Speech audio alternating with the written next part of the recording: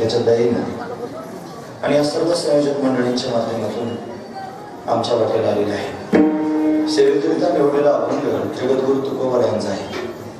तुकोबर या अभंगाच्या माध्यमातून गोपाळांचा संवाद वर्णन करून सांगतात. काय सांगतात महाराज? भगवान श्रीकृष्ण परमात्मा गोकुळामध्ये प्रत्यक्ष प्रगट झाला. सर्वांना सुख देण्याकरिता आनंद देण्याकरिता परमात्म्याचं प्राकट्य झालं. सर्व गोपाळ भगवंताच्या बरोबर प्रगट झालेले आहेत. सर्व सामान्य नाहीत अवतारी आहेत. दिव्य लिला करण्याकरिताच आलेले आहेत. म्हणून सर्वांच्या बरोबर हा कन्हैया उड्या मारतोय खेळतोय बागडतोय यानं त्यांनी महाराज अनेक प्रकारच्या लिला केल्या. असं गोपाळांबरोबर खेळणं गोमातेचा सांभाळ करणं ही पण भगवंताची लिलाच आहे. गोमातीला गोमातेला घेऊन कन्हैयानं वनात जावं. गोपाळांनी कन्हैयाच्या आवती होते असावं. दिवसभर उड्या मारायच्या खेळायचं पळायचं धावायचं. आणि मग कुठेतरी त्यांनी महाराज विश्रांतीकरिता थांबायचं. फार थकलेले गोपाळ विश्रांतीची अपेक्षा करत आहेत आणि विश्रांतीची अपेक्षा करत एकमेकाबरोबर संवाद करत आहेत आता आपण सकाळपासून वनवन करत आहोत फार फिरतो आहोत. आता असं करू आपण गायांची वळती आणूया चला वळू गाई वळू म्हणजे फक्त वळायला नेलं असा अर्थ करायचा नाही. चला वळू म्हणजे वळू ना चला वळू गाई आणि बैसू सगळेजण एकत्र येऊन बसू आणि काय करू? जेवू एके ठाई. चला वळू काय बैसू जेवू एके ठाई. आतापर्यंत आपण फार फिरलो. बहु केली वनवन फार वनवन त्यांनी केले. आणि पाय पेटी झाला शीन चालून चालून शीनच झाला. आता थोडे थोडस निवांत बसूया एकत्र बसून त्यांनी जेवण करूया. हा भाव अंतकरणात आहे. जर तुम्ही खेळण्याचा विचार करत असाल तर खेळणं सुद्धा फार झालं. दिवसभर गायींच्या मागे चालत तर राहिलोच. आणि दिवसभर त्या गायींना चालता चालता खेळायचंही काम सुरूच होतं. पण खेळही भरपूर झाले. खेळत असताना त्यांनी मला कोणी जिंकलं कोणी हरलं असं त्यांनी खेळातला भाग सुरूच असतो. जो हरला त्याला राज्य द्यावं लागतं. आणि राज्य दिल्यानंतर त्यांनी मला काहीतरी अंगावर मला येतच असते मग काय करावं एका गोपाळाला? अशीच अवस्था निर्माण झाली. राज्य आलं. आणि राज्य आल्यानंतर जर शिक्षा काय द्यायची आता तर त्यांना त्यांनी मला दुसऱ्या गोपाळाला खांद्यावर घ्यायचं. आणि सगळ्या वृंदावनात चक्कर मारून आणायची. म्हणजे एक त्यांनी मला त्याच्यावर राज्य आलं होतं. त्यानं कन्हैयालाच खांद्यावर घेतलं होतं. आणि खांद्यावर घेऊन त्यांनी मला सगळ्या वृंदावनात चक्कर मारत होता पण फार उशीर झाला होता. कीर्तन संपायला साडेबारा वाजले होते. म्हणजे तुमच्या लक्षात असण्याकरिता सांगतोय की मी साडेबारा वाजेपर्यंत तुम्हाला आता सोडणार नाही. आधी सांगितलं चांगलं असतं. काही तक्रार असली की लोक आधी सांगतात की बाबा पावणे बारालाच थांबा. आपण साडे अकरालाच पण थांबू शकतो. म्हणून साडेबारा वाजणार आहेत कीर्तनाला फार धावपळ झाली आता खांद्यावर भार आहे पोटात भूक लागलेली आहे. मग काय आता खेळण्याचं सुख आहे पण खेळ त्यांनी मोडला पाहिजे? आणि आता भोजन केलं पाहिजे सगळ्यांनी एकत्रित येऊन आणि अशा पद्धतीने त्यांनी गोपाळ परस्परात बोलू लागले. म्हणून त्यांनी फार धावपळ झाली. आतापर्यंत जे धावलो ते धावलो त्यांनी महाराज फक्त काहीतरी समाधान प्राप्त करून घेण्याकरिता. पण ते वेगळ्या पद्धतीने वेगळ्या दिशेने धावत होतो वेगळ्या माध्यमातून धावत होतो. आताही धावलं पाहिजे. सगळ्या गायीनं ओळख वळून आणलं पाहिजे नाही एका जागेवर त्यांनी थांबवलं पाहिजे. ती धावपळ वेगळी. आणि संसार प्राप्त करून घेण्याची धावपळ वेगळी. अभंगातला अर्थ काय वेगळा? शब्द जरी सरळ वाटत असले तरी सरळ अर्थ आपण पाहतो. सरळ अर्थ जरी असा दिसत असला तरी त्यातला गर्भित अर्थ काय वेगळाच आहे. म्हणून आता त्यांनी धावपळच करायची आहे. पण गायींना गोळा करण्याकरिता धावपळ करायची. धावत धावत जाऊन सगळ्या गायींना वळती आणून एका जागेवर बसवायचं. आणि बसून त्यांनी खऱ्या अर्थानं समाधान प्राप्त करून घ्यायचं. म्हणून तुका म्हणे धावे का मग आवाज हे बरवे मग त्यांनी म्हणत जो धावेल आणि धावून त्यांनी गायींना एका जागेवर आणून बसवी. मग त्याला खऱ्या अर्थानं भोजन प्राप्त होईल. पण अवघे बरवे मग सगळं त्यांनी चांगलं होईल. हा भाव त्यांनी महाराज गोपाळांचा आहे. आणि तो भाव जगद्गुरु तुकोबर या अभंगाच्या माध्यमातून व्यक्त करत आहेत असा अभंगाचा सरळ अर्थ प्रयत्न केला. विठोबा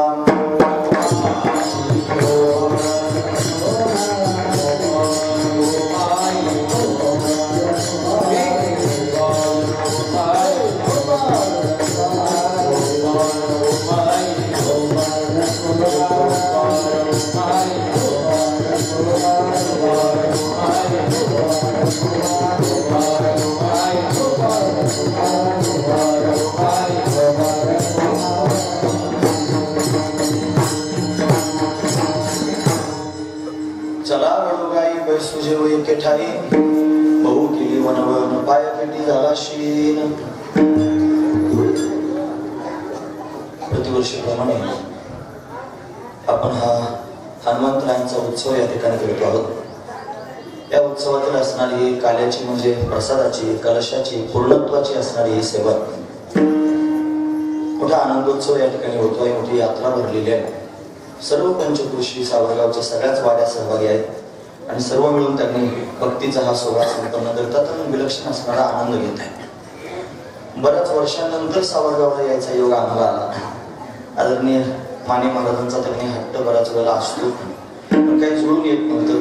ते या वर्षी त्यांनी मला शपथ तुम्हा सर्वांच्या सेवेचा योग माझ्या भाग्याने मला जुळून आला. म्हणून त्यांनी सेवा करतोय आज काला करायचं आहे काला म्हटलं की भगवंताचं चिंतन त्यांनी करायचं असतं. नव्हे बाललीला भगवंताच्या सांगायच्या असतात. श्रीकृष्ण परमात्म्याचं चरित्र सांगणं हे तर मुख्य उद्दिष्ट आहे. पण ते आपल्याला श्रवण करायचं. तुम्हा सर्वांना पाहिलं फार समाधान वाटतंय. सगळेच त्यांनी फार आदराचे प्रेमाचे आहेत. फार त्यांनी सगळ्या वारकऱ्यांना वैष्णवांना पाहून समाधान मला वाटतंय. कोणाकोणाचं वर्णन करू सगळेच त्यांनी समजवलेले आहेत. सर्व त्यांनी वंदनीय पूजनीय अशा पद्धतीने आहेत. नवे नवे कसे काय एवढे जमा झाले दुरून दुरून सगळेजण एकत्र आले हे मला अजून कळालं नाही. पण जिकडे पाहू तिकडे नवीनच त्यांनी दुरून आलेली माणसं माझ्या डोळ्यासमोर दिसतात. तुम्ही सर्वजण का जमा झालात? त्याचं कारण तुमच्या सगळ्यांच्या अंतकरणात माझ्या श्यामसुंदराविषयीचं प्रेम आहे. आणि म्हणून तुम्ही सर्वजण महत्वाची गोष्ट आहे. भगवंतावर प्रेम करतात म्हणून तुम्हाला असं वाटलं की आता ते प्रेम श्रवण करण्याकरिता जायचं मग मुरमुरे खाल्ल्यासारखं प्रेम कसं सांगू? म्हणून साडेबाराचा टाइम आधीच सांगून टाकला तुम्हाला. मग परत त्याच्यात तक्रार नाही म्हणून त्यांनी भगवंताचं चरित्र श्रवण करायचं ते भरभरून ऐकलं पाहिजे. अभंग भगवंताच्या चरित्रात प्रवेश करणाराच आहे. आदरणीय हरिभक्तीपरायण श्री आंबेडकर महाराज त्यांनी त्यांनी सुचवलेला साडे महाराजांनी दुसरा अभंग सुरू केला होता पण त्यांचा आधीच तयार होतो महाराज. कागद लिहून तयार होता मग कसं काहीतरी घोटाळा झाला असताना आपण कायमच आहोत अभंग म्हणण्याकरिता. म्हणून अशा पद्धतीनं अभंग फार गोड आहे आणि गोपाळांचा संवाद आहे. आता याच्यात चला वळू गाई असं त्यांनी म्हणत असताना भगवान गोपाळांना म्हणतोय चला वळू गाई असं जर म्हटलं तर ते संयुक्तिक होणार नाही. का होणार नाही? कारण गाय वळण्याची गरज भगवंताला नाही. गरज त्यांनी गोपाळा नाही. हा मात्र वास्तविक गोपाळांना पण नाही.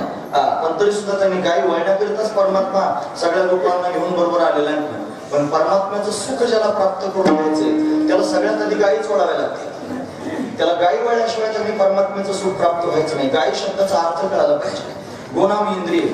या इंद्रियांना त्यांनी वळून आणलं पाहिजे एका जागेवर स्थिर केलं पाहिजे. जेव्हा इंद्रिय त्यांनी बहिर्मुख झालेली आहे ते बहिर्मुख इंद्रिय त्यांनी अशा पद्धतीने एका जागेवर स्थिर होतील आणि वृत्ती अंतर्मुख होईल आणि त्यावेळेला खऱ्या अर्थानं आत्मसुख प्राप्त होईल त्याच्याशिवाय प्राप्त व्हायचं नाही. म्हणून त्यांनी चला वळू गाई म्हणण्याचं तात्पर्य हेच आहे की इंद्रियांना वळून आणायचंय हा त्यातला भाव आहे तो भाव महाराज या ठिकाणी व्यक्त करीत आहे. भगवान असाचा लिला कार्य तो खेळण्याकरिताच येत असतो. त्याचा खेळच आहे हा सगळा.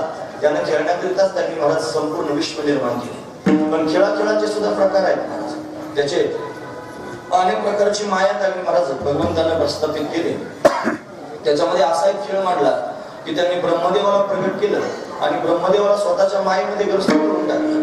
मग त्याला सृजन करायला लागलो. फार छान छान बोलतो गोड गोड बोलतो. त्यानं गोड बोलून ब्रह्मदेवावर त्यांनी पगडा घातला. आणि मग त्यांनी मला चार श्लोक त्याला सांगून टाकले चतुश्लोकी भागवताचे. मग त्याला सृजन करायला सांगितलं ब्रह्मदेवानं सृजन केलं. आणि सृजन केल्यानंतर अनेक प्रकारचे जीवजंतू प्रकट झाले. त्या जीवजंतूंमध्ये त्यांनी महाराज चार प्रकारच्या खाणी प्रगट झाल्या. जार जांड स्वेद चार खाणी प्रगट केली त्याच्यामध्ये चौऱ्याऐंशी लाख युनी प्रगट केल्या. या सगळ्यांमध्ये त्यांनी परमात्मा स्वतःच गच्च भरला. तो सर्वांमध्ये व्याप्त आहे. म्हणून तो सगळ्यांमध्ये अभिन्न रूपानं राहतो. तोच त्यांनी महाराज स्वतः जगत रूपानं प्रगट झालेला आहे. आणि या जगताचा लय जरी झाला तरी परमात्म्यातच होतो. दुसरीकडे कुठेच होत नाही. म्हणून भागवतात पहिला श्लोक त्यांनी व्यासदेवांनी त्याची रचना केली.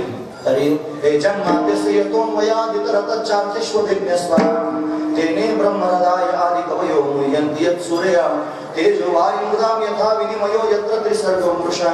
धाम्ना सदा निरस्तकुहकं सत्यं परं धीमहि सत्यं परं धीमहि सत्यं परम धीमहि। त्या परमात्म्याला सत्य म्हटले त्या सत्य परमात्मा स्वरूपावरच तीन सर्ग होतात। आणि तीन सर्ग जर कोणते असतील तर सृष्टी या सृष्टीचं पालन आणि या सृष्टीचा संहार. या तीनही गोष्टी परमात्मा स्वरूपावरच होतात. जसं त्यांनी उखर भूमीवरती प्रखर सूर्यकिरणांच्या संबंधाने मृगजळ प्रतितीला येतं.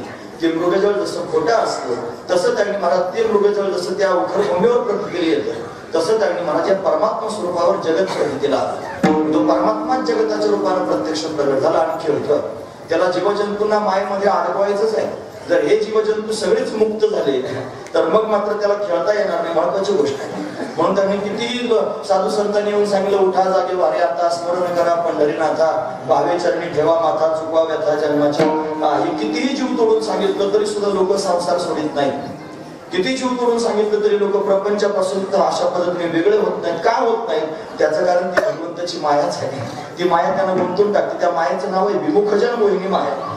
तिचं नावच आहे विमुखजन मोहिनी माया जी भगवंतापासून विमुख करणारी आहे देवापासून वेगळं करणारी आहे अशी असणारी माया. त्या मायेच्या प्रभावानं सगळेच जीव त्यांनी महाराज संसारात अडकलेले आहेत. आणि ते रात्रंदिवस संसारच करतात. त्यांच्या चित्तात संसारापासून दुसरं काही येतच नाही. तीच बायको तेच मुलं तेच त्याच भिंती तेच घर त्यांनी तेच भाऊबंद तेच खपखपी. याच्या बाहेर त्यांनी पडत नाहीत महाराज ते. हा म्हणून किती खटखटी झाल्या संसाराच्या तरी माणसाला संसार सोडून वेगळं भाव वाटत नाही. त्याचं कारण एवढंच आहे भगवंताची माया. त्या मायेनं त्याच्यावर पगडा घातलेला आहे. मग तो त्याच्यातून बाजूला होत नाही. का असं घडतं? देवाला खेळायचंय म्हणून. हा एक खेळातला भाग मग देव कसा खेळतो त्यांच्या बरोबर हे मायेत अडकलेले सगळे लोक एवढे फुगीर असतात महाराज की त्यांना वाटतं मी करतो म्हणून सगळं होतं.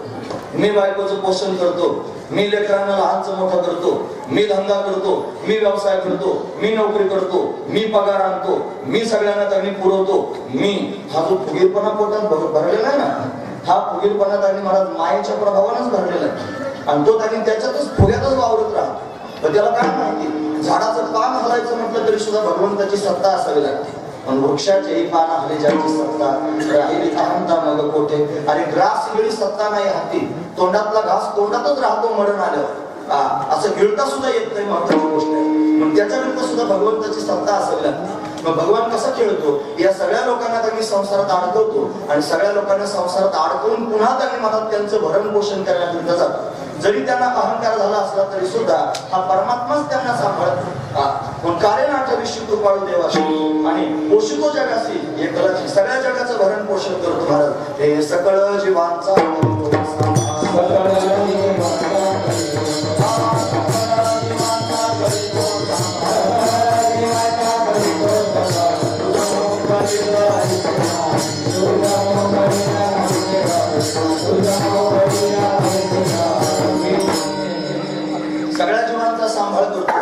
तोच देखील तो दाना सुद्धा देतो. का? म्हणून त्यांनी महाराज गोस्वामीजी म्हणतात प्रारब्ध पहिले रचा तिचे रचा शरीर. तुलसी चिंता क्यों करे? भजने शरीर रघुवीर. परत सांगतो प्रारब्ध पहिले रचा तिचे रचा शरीर. आधी प्रारब्ध तयार झालं मग हे शरीर तयार झालं. मग काय चिंता करायची गरज आहे? तुलसी चिंता क्यों करे? भजने श्री रघुवीर. भगवंताचं चिंतन करावं पण सामान्य लोकांना ते कळत नाही. सामान्य लोक त्यांनी एका मायेत दबलेले आहेत. त्याच्यापेक्षा एक श्रेष्ठ वर्ग आहे समाजामध्ये. हा जो सामान्य वर्ग आहे हा विषयी वर्ग आहे. त्याच्यापेक्षा श्रेष्ठ वर्ग जर कोणता असेल हा तर तो त्यांनी महाराज हा जिज्ञासू असणारा वर्ग हा जिज्ञासू त्यांनी महाराज त्याला मायेचा पडदा आहेच आहे पण त्याच्यातून थोडा सावरलेला आहे. आणि सावरून त्याला हे कळालेलं आहे की माणसाचं शरीर हे प्रपंच करण्याकरिता मिळालेलं नाही. प्रपंच करता करता मेले सगळे आजा मेला मेला बाप मसना गेला. आणि देखत देखत नातू पण तू तोही तैसा झाला. सारीच मेले त्यांनी जाळून आले सगळे लोक त्यांना.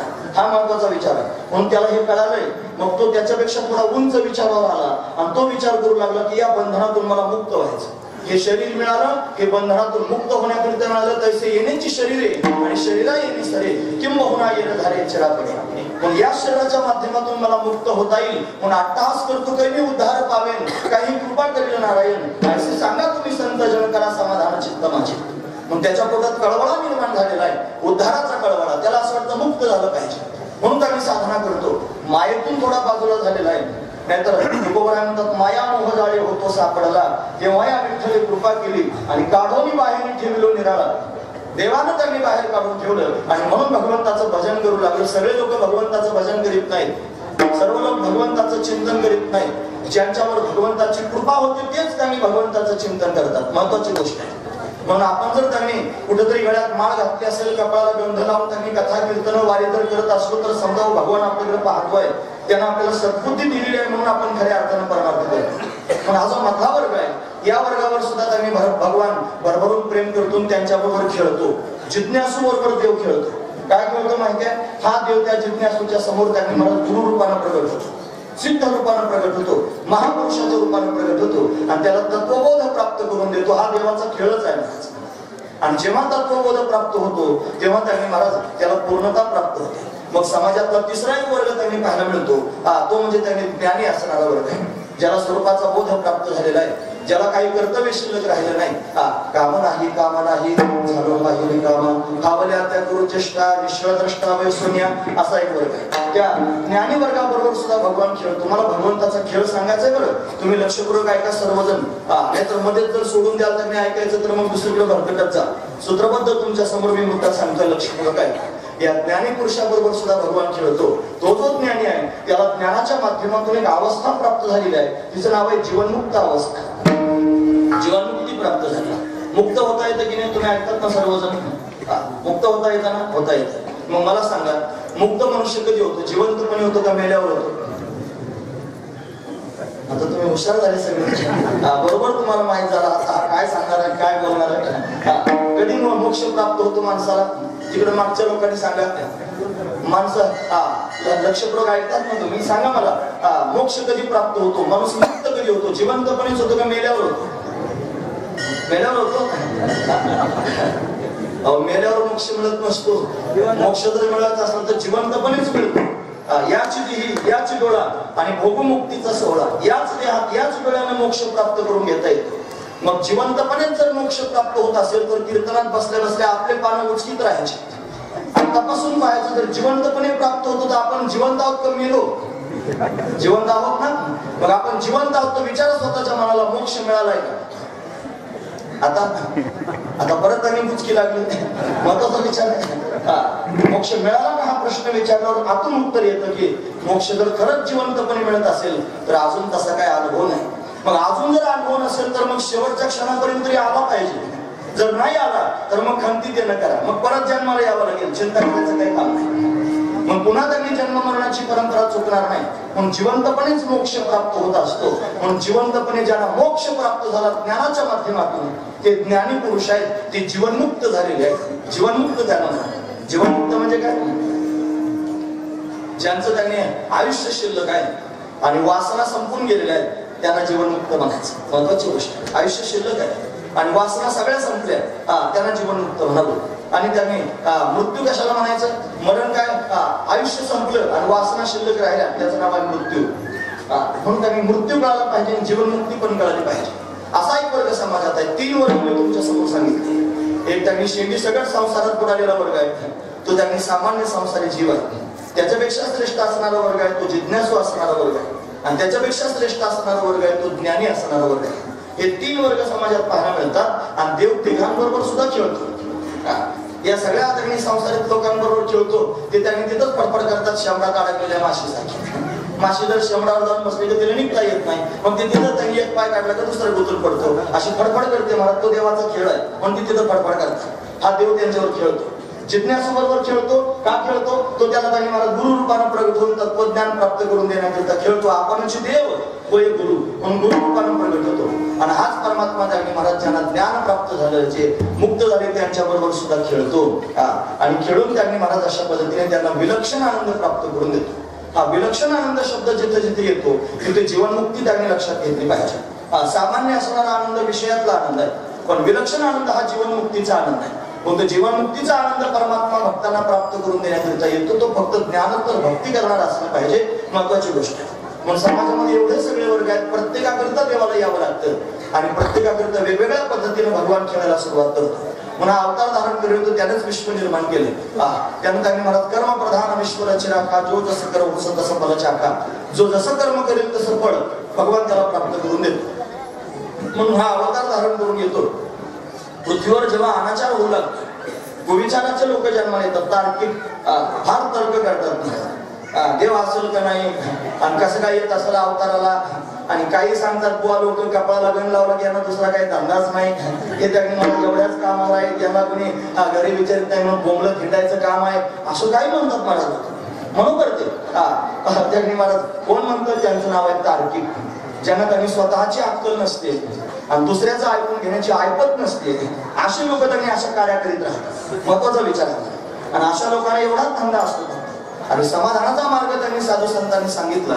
विलक्षण त्यांनी आनंद प्राप्त करून घेण्याचा मार्ग सांगितला ते बरं वाटत सांगितलं सोय करून सागरे आणि तुम्हाला काहो बरे वाटते भगवान स्वतः प्रकट झाला आणि त्यांनी सगळ्या जगाच्या उद्धाराकरिता गीता सांगितली. साधू संत त्याचं तत्वज्ञान जगाच्या समोर सांगतात. आणि लोकांना का बरं वाटत नाही हे कळत नाही. का बरं वाटत नाही त्याचं कारण हे तर्क करतात? तार्किकांना ते कळत नाही. दुराचारी तार्किक जन्माला आले की ते त्यांनी महाराज वेदाच्या विरुद्ध बोलायला सुरुवात करतात. शास्त्रांच्या विरुद्ध बोलायला सुरुवात करतात. पुराणांच्या विरुद्ध बोलायला सुरुवात करतात. नाही त्या चर्चा सुरू करतात. आणि त्याच्यात काय मोठं घालीत राहतात. महत्त्वाचा विचार. मग असं करून करून त्यांनी महाराज अनाचार माजवतात. आणि त्यांच्याच विचाराचे त्यांना काही लोक भेटले की त्यांचा एक जमाव तयार झाला. त्यांची होती लॉबी आणि ती लॉबी तयार झाल्यानंतर ते कडाडून त्यांनी मला धर्मकार्य करणाऱ्या लोकांच्या अंगावर तुटून पडतात आता हा पण भगवंताचा खेळच आहे. त्यांच्या मेंदूत शिरून देव सुद्धा त्यांना अशा पद्धतीने करायला लावतो हा महत्त्वाचा विचार. कदाचित त्यांचं काहीतरी पाप असेल ते देवाला दिसत असेल म्हणून पाप त्यांच्या तोंडातून त्यांनी बोलतो धर्मशास्त्राच्या विरोधात त्यांनी वक्तव्य करायला लावतात हा महत्त्वाचा विचार. म्हणून असे त्यांनी दुराचारी जन्माला आले आणि अधर्म त्यांनी वाढायला लागला. अधर्माची शिग चढेल. अधर्म त्यांनी वाढायला लागला. धर्माची घडी मोडे आणि धर्माची घडी जर मोडू लागली तर मग मात्र त्यांनी भगवंताला यावं लागतं. ती सावजी करण्याकरिता घडी. हा म्हणून खेळ खेळण्याकरिता येतो ना हेच काम करतो. मग असं अनेक वेळेला घडलं. त्यानं त्यांनी मला जर तुम्ही मनवंतरलेला पाहाल तर मनवंतरांचा विचार करत असताना आधी चार युग पाहावे लागतील. या चार युगांमध्ये त्यांनी मला सत्ययुग आहे त्रेतायुग आहे कलियुग आहे द्वापार द्वापार युग आणि कलियुग आहे असे चार युग आहे या चार युगांमध्ये त्यांनी चार युगांना मिळून येत चतुर्युगी म्हणतात किंवा त्याला महायुग म्हणतात. असं जे महायुग आहे अशा एकाहत्तर त्यांनी महायुग झाली की एक त्यांनी महाराज मनवंतर का? आणि ते त्यांनी महाराज अशी चौदा मनमंत्र झाली की एक ब्रह्मदेवाचा दिवस होतो. आणि तेवढाच कालावधी लोटला की मग त्यांनी महाराज दोन गोष्टी परार्थ आणि अर्ध परार्थ दोन्ही मिळून त्यांनी एक कल्प तयार होत असतो.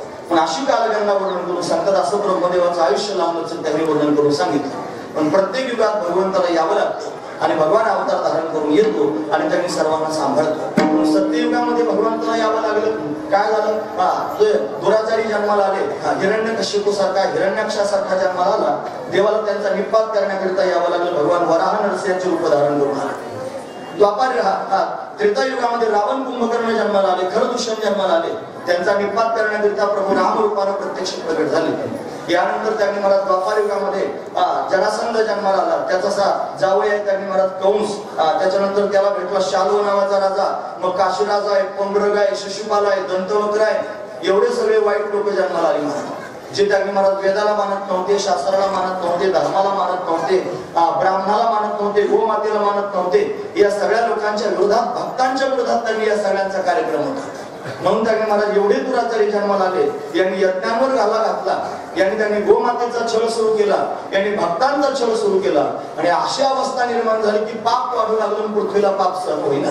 मग त्यांनी महाराज भगवंताची विनवणी पृथ्वी करू लागली. मला वाचवा पापाचा भार झालेला आहे. मग अशा पद्धतीने भगवंतानं आकाशवाणीद्वारा सांगितलं की देवकीच्या गर्भा येईल भगवान. रक्षिल ब्राह्मण गाई भगवान. आकाशाची वाणी सांगे सकळाशी तळमळ मानसी करू नका. देवकीच्या गर्भा येईल भगवान. रक्षिल ब्राह्मण गाई भक्त. म्हणून त्यांनी मला देवकीच्या घरी येणार आहे. देवकी कंसाची चुलत बहीण आहे. त्या कंसानं तिचा विवाह त्यांनी महाराज वसुदेवाबरोबर करून दिला. विवाहातच विघ्न आलं. आकाशवाणी झाली हिच्याच पोटी आठवा येऊन तुला मारणार आहे. मग त्यांना दोघांना बंदीखान्यात नेऊन टाकलं. यथाकाल सहा लेकर झाली कंसाने मारून टाकलं नारदांच्या सांगण्यावरून. हा सहा लेकर मारली. आणि त्यानंतर त्यांनी सातवा गर्भ आला तो योगमायेनं पळवला. हे मगाची माया सांगितली ती विमुखजन मोहिनी माया. आणि आताची माया सांगितली योग माया. माई माहीत फरक आहे माझा? हे योगमाया म्हणजे काय? योग योगमाया शब्दाचा अर्थ तो योगाय या माया असा योग माया. जी जोडणारी माया आहे तिला योग माया म्हणायची. जोडणार योग हा शब्दच मुळात व्याकरणाच्या दृष्टीने युज नावाच्या धातूपासून तयार झाला. जोडणे अर्थानं तयार झाली. काय करते? जोडते. ही माया कोणाला जोडते आणि कोणाशी जोडते? ही जीवाचे परमात्म्याशी नातं जोडणारी माया तिला म्हणायची योग माया. ही माया परमात्म्याशी नातं जोडून देणारे म्हणून योग माया. अशा पद्धतीने त्यांनी महाराज प्रगट होते त्या योग मायेच्या प्रभावानं त्यांनी महाराज अशा सहा गर्भ त्यांनी कंसानं मारलेले आहेत. सात सातवा गर्भ आला. योगमायेनं पळवलं. आणि पळून त्यांनी महाराज रोहिणीच्या गर्भात नेऊन घातला. रोहिणी म्हणजे त्यांनी वसुदेवाचीच पत्नी. आहे. ती त्यांनी कंसाच्या भीतीनं आणि गोकुळात जाऊन राहत. होती म्हणून तिथं त्यांनी मला नेऊन पोहोचलो लोक म्हणतात असं कुठं वही इकडून तिकडे नेता येतो का? तुम्ही काही सांगता आम्ही आमच्या विचाराचे आहोत. म्हणून त्यांनी मला आम्ही फार पुरोगामी झालो म्हणतात. तुम्ही सगळे मावळट आहात तुम्हाला इकडून तिकडे गर्भ त्यांनी नेता येतो. कसं काय गर्भ नेता येईल? आता विज्ञानच म्हणतं नेता येतो. ट्यूबमध्ये बेबी तयार केलं जातं टेस्ट ट्यूब बेबी मग ट्यूबमध्ये बेबी तयार करायचं गर्भाशयात नेऊन सोडायचं. मग इकडचा गर्भ तिकडे जर विज्ञानाला नेता येतो तर अध्यात्म सुद्धा आधीच प्रगतच आहे ना महाराज? महत्वाची गोष्ट. फक्त आपण मानत नाही. हा, ते त्यावेळेला मान्य केलं नंतर आपोआप मान्य करावं लागतं. पण कशाचं विमान पुष्पक विमान होतं ते असं उडत गेलं आमचं झालं लंकेवरून त्यांनी अयोध्येपर्यंत भगवान गेले काही सांगता म्हणजे विमानात मग त्यावेळेला विमान जाऊ शकत नव्हतं आता कसं काय जातं त्या विमानावरूनच त्या विमानाची कल्पना तयार झाली महत्वाची गोष्ट आहे. हे पण लक्षात घेण्यासारखंच आहे. हा. पण त्यावेळेला काय साधनं थोडीच होती. आता वैज्ञानिकांकडे साधनं आहेत. दुर्बिणी लावल्या की ग्रह पाहायचे मोठे मोठे. त्यावेळेला व्यासदेवांकडे काही साधनं थोडे. दुर्बिणी थोड्याच होत्या. त्यानंतर श्लोक आहे ब्रह्मा मुरारी स्त्रिपुरांतकारी भानु शशी भूमी सुत उदस्य पुरुष शुक्र शनी राहो केतवा सर्वे ग्रह शांती करा भाऊ पण सगळ्या ग्रहांची नावं व्यासदेवांनी सांगितली. त्यांचे सगळे आकारमान सांगितले. कोणता ग्रह कसा आहे हे सुद्धा त्यांनी सांगितलं. मग त्यांच्याकडे काय दुर्बिणी थोड्याच होत्या. आपल्या शरीरात तेवढी क्षमता आहे? मला जे माणसाचं शरीर म्हणजे पॉवर स्टेशन आहे. याच्यामध्ये त्यांनी पॉझिटिव्ह एनर्जी आहे महाराज. भयंकर ऊर्जा याच्यात निर्माण होऊ शकते. एक एक चक्र त्यांनी महाराज जर जागृत केलं तर आज आपल्याला सर्वज्ञता प्राप्त होऊ शकते. आज आपल्याला दूरदर्शन दूरश्रवण या सगळ्या गोष्टी सिद्धी आपल्याला आजही प्राप्त होऊ शकतात. पण आपण साधनाच करीत नाही. आपल्याला सगळं लगेच ऐकलं पाहिजे. जेथे पावे तेथे देखीचा पर्वत आणि पायाविनं भिंत तातडीची म्हणजे घर बांधायचं घर बांधायचं आणि बिगर पाया घेताच घर बांधलं. किती दिवस टिकल ते घर? आणि त्या घराला त्यांनी मला आश्रय तरी मिळेल तेवढी गरज अंगावर पडेल. महत्वाची गोष्ट आहे. मग त्याला पाया असला पाहिजे. पण आधी जर खरोखर या गोष्टी जाणायच्या असल्या तर त्यांनी महाराज आधी अभ्यास केला पाहिजे. आणि अभ्यास करून साधन केलं पाहिजे. साधन करून सिद्ध झालं पाहिजे. आणि सिद्ध झाल्यानंतर जगाच्या समोर ते मांडलं पाहिजे तर ते प्रभावीपणे मांडता येईल आणि खरोखर लोकांच्या अंतर्गणात घुसून त्यांना ते पटेल. महत्वाची गोष्ट आहे. म्हणून तर त्यांनी महाराज अशा पद्धतीनं हा योग मायेच्या प्रभावानं रोहिणीच्या गर्भात घेऊन त्यांनी स्थापन केलं त्या गर्भाला. आणि मग तिथं त्यांनी हा, सर्वजण विचार करायला लागले म्हणून याच्या प्रतिबंधी खाण्यात आहे. ती गर्भवती झाली कसं काय झालं असेल असं? सगळे तर्क करू लागले. मग त्यांनी महाराज रोहिणीलाही कळे ना हे झालं काय? सातव्या महिन्याचा गर्भ आला. या काय की कुठून आला नाही मग त्यांनी महाराज तिने चिता रचली यमुनेच्या काठावर. आणि ती पेटवली त्याच्यात उडी मारणारी त्यात आकाशवाणी झाली. रोहिणी निष्कलंक काय गर्भ त्यांनी महाराज वसुदेवाचाच आहे. आणि मग खऱ्या अर्थाने त्यांनी महाराज सर्वांना समाधान वाटलं तिचा सांभाळ केला. नंदराजाच्या घरी राहते. यथाकाल त्यांनी अशा पद्धतीने प्रस्तुत झाली. भाद्रपद शुद्ध षष्टीला तिला पुत्र झाला त्याचं नाव आहे बलराम. तो त्यांनी महाराज जन्माला आला खरा पण डोळे उघडत नाही. का डोळे उघडत नाही म्हणून त्यांनी महाराज त्याची जन्मपत्रिका पाहिली. मग कळाला हा सामान्य हा त्यांनी शेषनारायणाचा अवतार आहे. शेषनारायण भगवंताचा आसन आहे ज्या अर्थी इथं आसन आलेल्या त्या अर्थी भगवान सुद्धा इथे येणार आहे. मग कुठे येईल म्हणे आपला जो राजा आहे नंद राजा त्या नंदराजा आणि यशोदा राणी त्यांना बऱ्याच काळापर्यंत संततीने काहीतरी भगवंताला आपण साखर घातलं पाहिजे. आबाल वृद्धांनी गावातल्या त्यांनी निर्जला एकादशीचं व्रत केलं भगवंताची विनवणी केली की यशोदेला पुत्र प्राप्त व्हावा. सगळ्यांची भावना भगवंतापर्यंत पोहोचली आणि भगवंतांनी महाराज अशा पद्धतीने प्रगट होण्याकरिता तयार आहे यशोदा आणि गर्भवती आहे. सर्व गाव आनंदी झाला.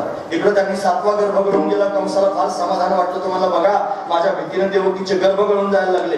फार आनंदी झाला पण त्या त्याचा काळ त्यांनी प्रगट होणार आहे त्याला माहीत नाही. अष्टम गर्भ रूपानं परमात्मा प्रगट होणार देव तेज रूपानं त्यांनी प्रत्यक्ष अशा पद्धतीने प्रगट होणार म्हणून आधी वसुदेवाच्या हृदयात भगवंतानं प्रवेश केला त्यानंतर त्यांनी महाराज देवकीच्या हृदयामध्ये भगवंतानं प्रवेश केला देवकीचं तेज वाढवलं. म्हणून त्यांनी महाराज जीवात्मा कसा येतो आपल्या सर्वांपर्यंत हे जर पाहायचं असलं तर त्याची प्रक्रियाच आहे. पर्जन्यामधून त्यांनी जीवात्मा हा, आधी त्यांनी महाराज वनस्पतींमध्ये प्रवेश करतो. वनस्पती बापाच्या पोटात जातात. आणि मग त्यांनी महाराज त्या बापाच्या त्या तो जीवात्मा बापाच्या तेजात प्रवेश करतो. आणि त्याच्यातून त्यांनी महाराज मातेच्या गर्भात त्यांनी प्रवेश करतो आणि मग अशा पद्धतीने तो वाढू लागतो. म्हणून त्यांनी महाराज तेव्हाच जीवात्मा प्रवेश करत असतो. नाहीतर सातव्या महिन्यात जीव येतो मग त्यांनी वाढायला लागतो असं लोक सांगतात तसा त्यातला भाव नाही. तो त्यांनी त्याच वेळेला प्रगट होत असतो. पण आपली सुद्धा येण्याची प्रक्रिया अशीच आहे आपण अशाच पद्धतीने आलेलो आहोत. जर तुम्हाला धर्मशास्त्र मान्य असेल तर या सगळ्या गोष्टी सुद्धा बारकावे पाहून त्या मान्य कराव्या लागतात आता कलीचा प्रभाव आहे त्याच्यामुळे कोणाला काय मान्य होईल आणि कोण काय टाकून देईल सांगता येत नाही. पण इथं त्यांनी धर्म सांगायची जागा आहे म्हणून धर्म सांगतात. महत्वाची गोष्ट हा, म्हणून त्यांनी सांगण्याच्या जागेवरच त्यांनी सांगितलं पाहिजे. खाली उतरल्यावर सांगायला लागलं तर तुम्ही माझं ऐकणार नाही. म्हणून कंबर बांधून त्यांनी सांगायची ही जागा आहे धर्म सांगण्याची जागा आहे म्हणून सांगतात. हा त्यातला भाव आहे. म्हणून देवकीचं तेज वाढू लागलं. कंसाचं हृदय जळू लागलं. मग त्यांनी महाराज कंस घाबरला. हा, देवदेवता स्तुती करण्याकरिता आल्या सत्यव्रतम सत्य परम सत्यम सत्यांचे यमी नेत्राचे सत्य सत्यस्य सत्यम सत्य नेत्रम. सत्यात्मकम कंस शरणम प्रपन्ना भगवंताचं स्तवन देवतांनी अशा पद्धतीने केलं. आणि मग त्यांनी परमात्मा प्रगट होण्याची वेळ आली. श्रावण महिना आला. त्याच्यात मध्य पक्ष आला. त्याच्यात अष्टमी तिथी आहे. बुधवारचा दिवस आहे. ग्रह नक्षत्र भगवंताला अनुकूल आहे. चंद्रमा अतिशय चांगला आहे. रात्रीचे बारा वाजले. कारागृहामध्ये लख असणारा प्रकाश पडला. वसुदेव देवकी पाहू लागले. भगवंताला त्यांनी दिव्य असणारी आकृती धारण केली. अष्टवर्षाची मूर्ती भगवंताला प्रगट केली. वसुदेवाचा आणि भगवंताचा संवाद झाला. त्याने सांगितलं आता मी त्यांनी तुमच्यावर कृपा करण्याकरिताच आलेलो आहे. तुम्हाला आशीर्वाद दिला म्हणून मी तुमच्या घरी प्रत्यक्ष त्यांनी हा बाल रूपानं प्रगट होण्याकरिता आलेलो आहे. पण मला इथे थांबायचं नाही. मग मला जायचंय. म्हणजे कुठे जायचं? मग त्यांनी मला भगवान स्वतः सांगू लागले.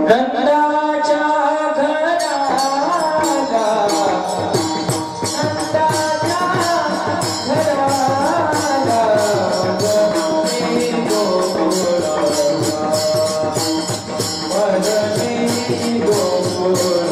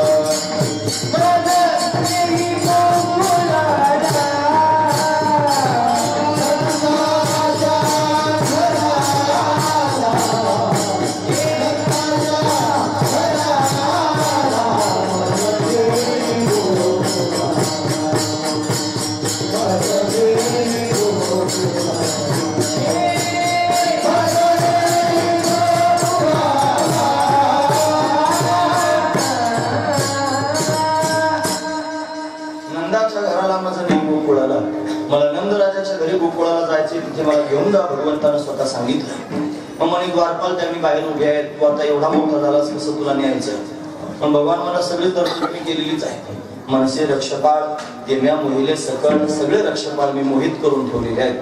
हा. म्हणून त्यांनी चिंता करण्याची आवश्यकता नाही. भगवान लहान झाला. देवकीनं भगवंताला हातात घेतलं स्तनपान त्यांनी करू लागली. हा, देवालाही समाधान वाटतंय आई त्यांनी प्राप्त झालेली आहे. आईला समाधान वाटतं पण दुसऱ्या क्षणाला का लक्षात आलं? की कंस जर धावत आला मग काय करायचं? म्हणून सोडा सोडा मी जी लपवा लपवा जगजेठी जने कंसाशी कळेल माझ्या बाळाशी मारील. म्हणून बाळाशी त्याने आ, मारण्याकरिता येईल म्हणून त्यांनी महाराज लवकरात लवकरात नेलं पाहिजे. म्हणून वसुदेवाच्या हातात देवाला देऊन टाकलं. वसुदेवानं भगवंताला हातात घेतल्याबरोबर चमत्कार झाला. आ, उचललेला कमळापती बाईची बंधने गळती बंधनं त्यांनी गळून गेली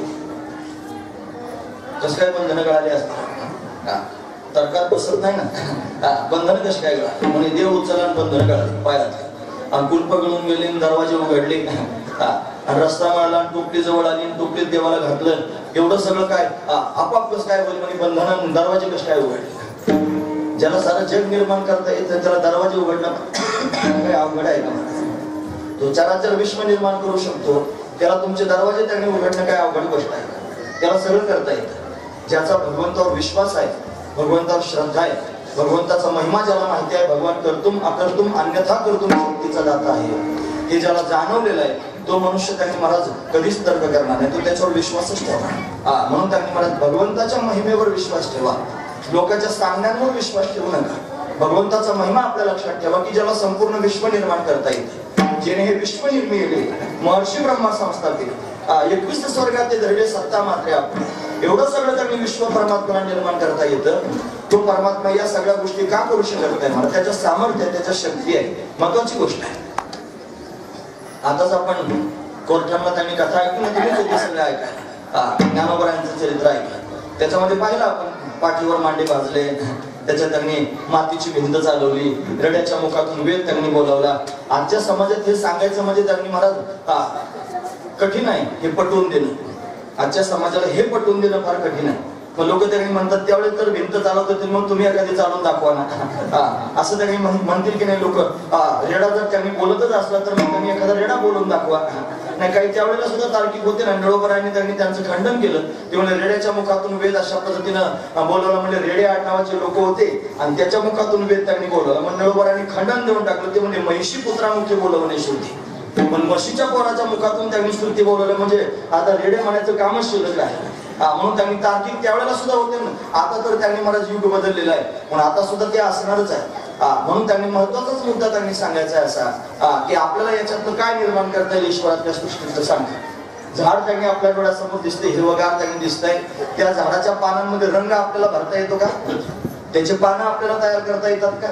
त्याला फुलं आपल्याला आणता येतील का? आपल्याला पाणी घालता येईल फक्त त्याला फळ आपल्याला आणता येईल का? बरं त्या फळांमध्ये काही आंबट असतात काही गोड असतात काही तुरट असतात काही तिखट असतात. असे त्या मला त्यातली चव आपल्याला भरता येईल का? कटवा आम्ल लवण तिक्त कशाय हे सगळेचे सगळे स्वाद त्याच्यामध्ये आहेत. हे आपल्याला भरता येतील का? ते आपलं सामर्थ्य नाही. आपण फक्त पाणी घालू शकतो. हा एवढंच आपल्याला करता येऊ शकतं. त्याला वाढवणं आणि त्याला त्यांनी अशा पद्धतीने सगळ्या अंगाने फुलवणं हे भगवंताच्या हातात आहे. तसं हे शरीर आपल्याला प्राप्त झालेलं आहे. याच्यातलं काय आपण तयार केलं सांगा.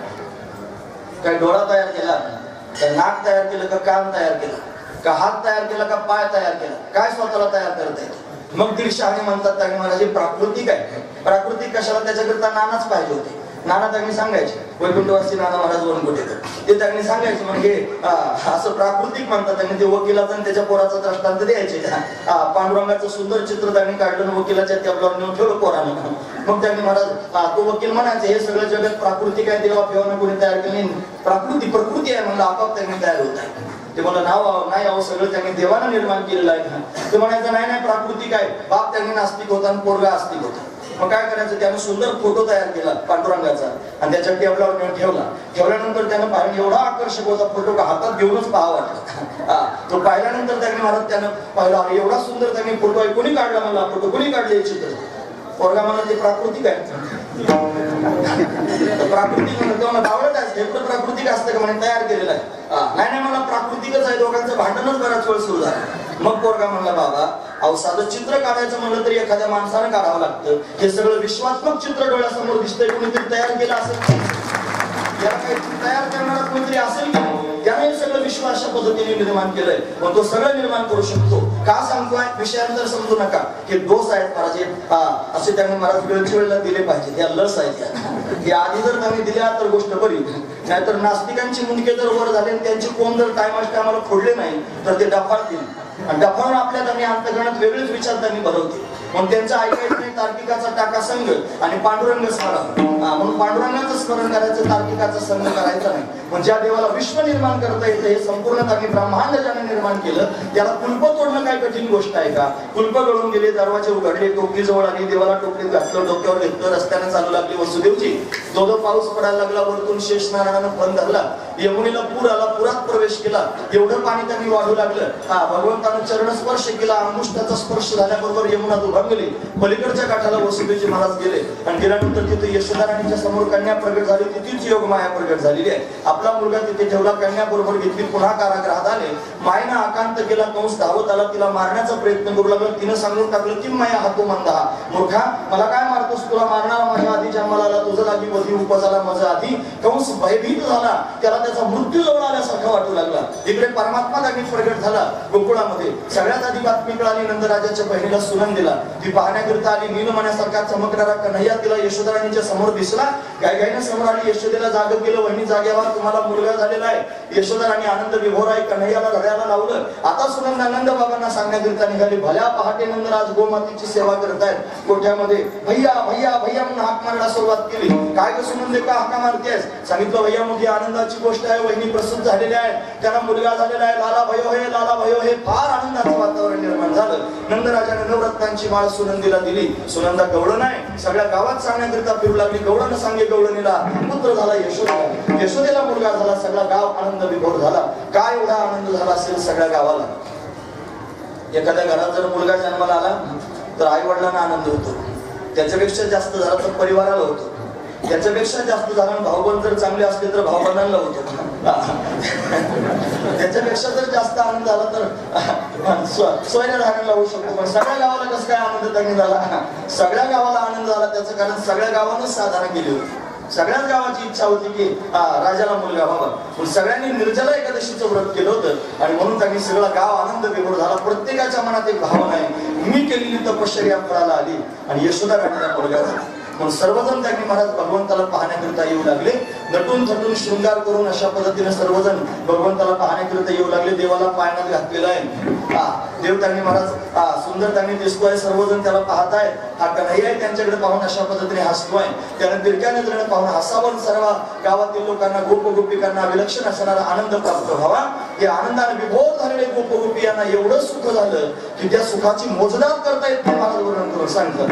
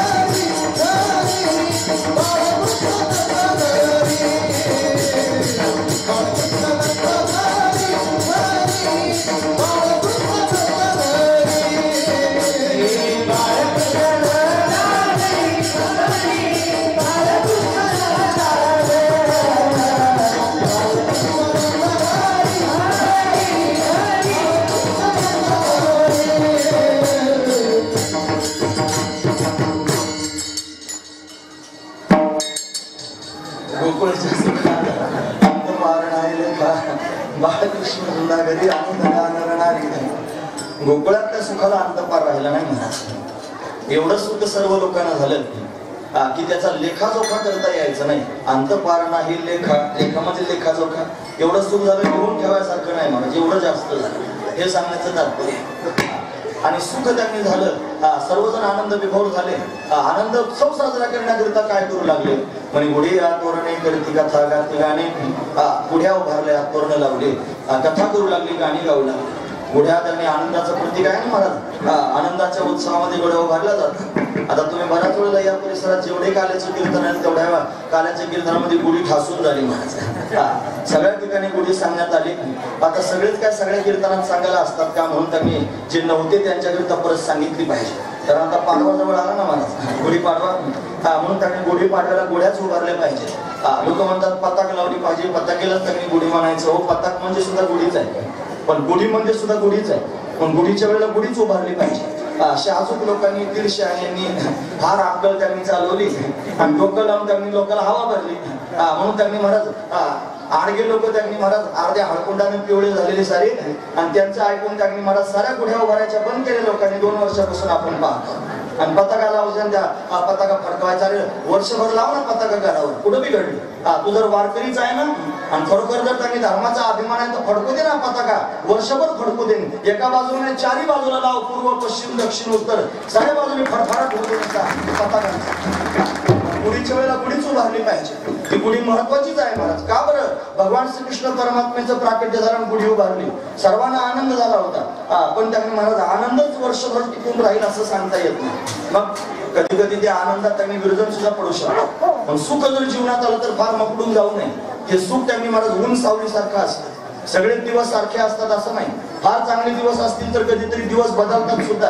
आणि फार वाईट असतील तर ते सुद्धा त्यांनी महाराज बदलून जातील. म्हणून त्यांनी दिवस बदलत राहतात. महत्वाची गोष्ट आहे. पण सुख आणि दुःख एकत्र प्रवाहित होतात राहतात. त्या सुखाचंही स्वागत केलं पाहिजे आणि दुःखाचंही स्वागत केलं पाहिजे. त्या सुख दुःखांचं स्वागत करण्याकरिता गुढी उभारली जाते या गुढीमध्ये विरुद्ध गोष्टी पाहायला मिळतात. त्याच्यामध्ये तांब्या पालथा घातला जातो. खालून बांबू त्यांनी उभा लावला जातो. बांबूचं तोंड वर असतं आणि तांब्याचं तोंड खाली असतं. हा याला आधा आणि ऊर्ध्व म्हणायचं. हा म्हणून अशी असणारी गुढी असते त्याला त्यांनी महाराज एक साडी लावली जाते. त्याच्यात त्यांनी महाराज लिंबाचा फुलवरा आणतात आणि त्याच्यात आंब्याचा डगळा आणून त्यांनी पुन्हा त्याला गाठी असते आणि अशी पेंडी तयार करून त्याला बांधतात. आणि बांधून त्यांनी महाराज त्याला ब्रह्मध्वज म्हणतात त्याची पूजा केली जाते. ब्रह्मदेवानं सृष्टी निर्माण करायला सुरुवात केली तो तो दिवस आहे. वातावरणामध्ये विशेष असणारी ऊर्जा. भौगोलिक रीतीने सुद्धा पाहिलं पाहिजे ना महाराज वातावरणात काही ऊर्जा काही काळामध्ये त्या पद्धतीचीच असते. मग आपण तिळगुळ खातो की नाही आता तिळगुळ वाटून झाले सगळ्यांना. का बरं? तिथपासून पुढे त्यांनी मला उष्णता वाढायला सुरुवात केली. मग एका इथे जर उष्णता वाढली ना आपण जर आधी तरतूद केली नाही मग काय करायचं? म्हणून तीळ हे गरम असतात पण तीळ जर खायला दिले तर हळूहळू हळूहळू आपल्या शरीराला सवय पडते गरम गरम पचवण्याची. म्हणून त्यांनी तीळ दिले जातात. हा महत्त्वाचा विचार आहे म्हणा का बरं तिळगुळ वाटायचे? आता या सारा बंद करायच्या मागे लागले सगळे लोक. म्हणजे तुमचा हा सारा वावडपणा कुठे तिळगुळ म्हणे? साखऱ्याचा नाश करता तुम्ही. आमच्याला त्यांनी वाटून देता. आमका भला नाश त्यांनी झालं. म्हणजे होळी पेटवायची नाही. सगळीकडे प्रदूषण होतं. आता होळीनीच प्रदूषण होतं की लोकांचे घर जाळतात त्याचं प्रदूषण होत नाही. बघा हा त्यांनी महाराज फार लोकांच्या मुंडक्यावर माळ देऊन आहेत त्यांनी त्यांनी लोकांची घरं त्यांनी जळत नाही त्यांनी प्रदूषण होत नाही आम्ही होळ्या पेटवल्याने प्रदूषण होणार आहे. हे फक्त बुडवायचं याच्या मागचा उद्देश एवढाच आहे. हे त्यांनी महाराज भूमिगत कार्य चालू आहे. ते त्यांनी एकत्र झालेले आहेत. आपण एकत्र नाही पण आपल्या आपलीचा ठाव त्यांना माहिती आहे. आपल्या आपली तपासून त्यांनी येतात मस्तपैकी यांच्या त्याच पिल्लू सोडून. आणि मग त्यांनी महाराज हे गोंधळ घालतो आपण लांब उभं राहून पाहायचं हे आपसात भांडत राहते. म्हणून त्यांनी असे भांडण लावून द्यायचं हे काम आहे म्हणा धर्माधर्मात ती भांडणं लावायची. या गुढीचं त्यांनी मला लावून दिलं भांडण म्हणजे संभाजी राजाला असं त्यांनी औरंगजेबाने त्यांचं मस्त उडवलं भाल्याच्या टोकावर त्यांनी घेतलं मग आया बहिणीची आबरू घेतली त्याला लुगडं लावलं त्याचा त्यांनी महाराज पुरावा देतात. आणि साडेतीनशे वर्षाचा कालावधी हे संभाजी राजांचा. बरोबर आहे की नाही? गुढी त्याच्या आधीची आहे. माऊली ज्ञानोबरांनी सातशे वर्षापूर्वी गुढी सांगितली. म्हणतात आधोर तू गुढी काढी राम नावाची पिंडी आणि बांधोनी घाली उडी मध्यमे माझी. संकल्प विकल्पाचे लुगडे हिडूनी मन उघडे. म्हणून म्हणून ह्या सगळ्या दोन वयात तुम्ही बारकाईने ज्ञानेश्वरीतल्या बघा. मग सातशे वर्षापूर्वी जर अशी गुढी त्यांनी लावली जात होती त्याचा संभाजीराजांकडे संबंध लावण्याचं काय कारण आहे खरं सांगा. त्याचं कारण एवढंच आहे तुम्हाला भ्रष्ट करून टाकायचंय. तुमच्या पोटातला धर्म घालवायचा आहे आणि त्यांनी नास्तिक मत तुमच्या सर्वांच्या समोर मांडायचंय. हा त्यातला भाव आहे मला साधू संतांची दृष्टी निर्मळ आहे. ऋषीमुनींची दृष्टी निर्मळ आहे. काय त्यातले भाव असतील? तांब्या पालथा घातला म्हणजे आमंगल नाही. विश्वातली ऊर्जा त्यांनी खेचायची. मंदिर आहे की नाही आपलं हनुमंतरायांचं? बघा त्याच्यावर कलश तिथं लावलेला एक नाही? तांब्या म्हणजे कलश म्हणतात की नाही? त्याला कलश स्थापन केला. सप्ताहाच्या सुरुवातीला कलश स्थापना करतात. तांब्याला पण कलश म्हणतात. आणि वरती मांडलाय मंदिरावर त्याला काय म्हणतात? भटजीबा तुम्ही सांगा. काय? कलश म्हणतात की नाही? मग तुम्ही कलश वरती पालथा ठेवता का उताना? पालथा ठेवता. मग पालथा ठेवलं मंगलमय का अमंगल? काय उगाच कुठे डोकं लावायचं म्हणे पालचा कलर घालताना अमंगल झालं. आणि म्हणे बांबूच त्यांनी लावताना बांबू मैत्रीला येतात म्हणे तो अमंगल असतो बांबू. अरे बांबू जर अमंगल आहे तर वारकरी कशाला पताका घेऊन जातात मग बांबूच्या? वारकऱ्यांच्या पताका कशाच्या असतात? बांबूच्या असतात काही येणार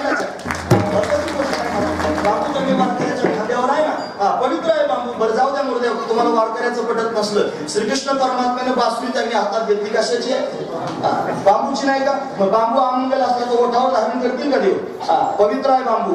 हा, कलश पालता घातला ऊर्जा खेचून घ्यायचे तो पण पवित्रच आहे उलटा उतारा ठेवा नाही तर पालता ठेवा. कलश कलश आहे महत्वाची गोष्ट आहे? त्यात काही भाव आहे? पण हा भाव त्यांनी सांगण्याकरिता ती गुढी उभारली जाते. दोन विरुद्ध गोष्टी एकत्र केल्या. लिंबाचा फुलावरा कडू आहे आणि त्यांनी मला ती गाठी गोड आहे. दोन गोष्टी एकत्र केल्या कडून गोड. वर्षभरात सगळेच प्रसंग आपल्या जीवनात गोड येतील का हो? एखादा कडू सुद्धा येऊ शकतो. पण भविष्यात कडू त्यांनी प्रसंग येण्यापेक्षा आजच कडू खाल्लेलं चांगलं. त्याच्यात गुळ घालून त्याला एकत्र करतात पण खायलाच लावतात. लेकरांना सुद्धा म्हणतो काय वडत चांगलं असते हे चांगलं असते नाही. त्याच्यातला भाव असा आहे की भविष्यात त्यांनी या वर्षभरामध्ये चांगले वाईट दोन्ही प्रसंग येणार आहेत. त्याला फक्त आपण स्वीकारायचं आहे त्याच्याकरता ह्या सगळ्या गोष्टी स्वामी संतांनी विचारपूर्वक आपल्यासमोर मांडल्या. म्हणून त्यांनी महाराज आता येणारी जी गुढी आहे त्या गुढीला सगळ्यांनी मुडीच उभारायची. जो खरोखर हिंदू असेल ज्याच्या अंतर्गत सनातन धर्माविषयी आदर आहे तो आपल्या घरामध्ये कुणीच उभारणार तो कुणी उभारणार नाही? तो काय असेल तुम्ही तुमचं पाहून घ्या. विठोबा, रखुमा,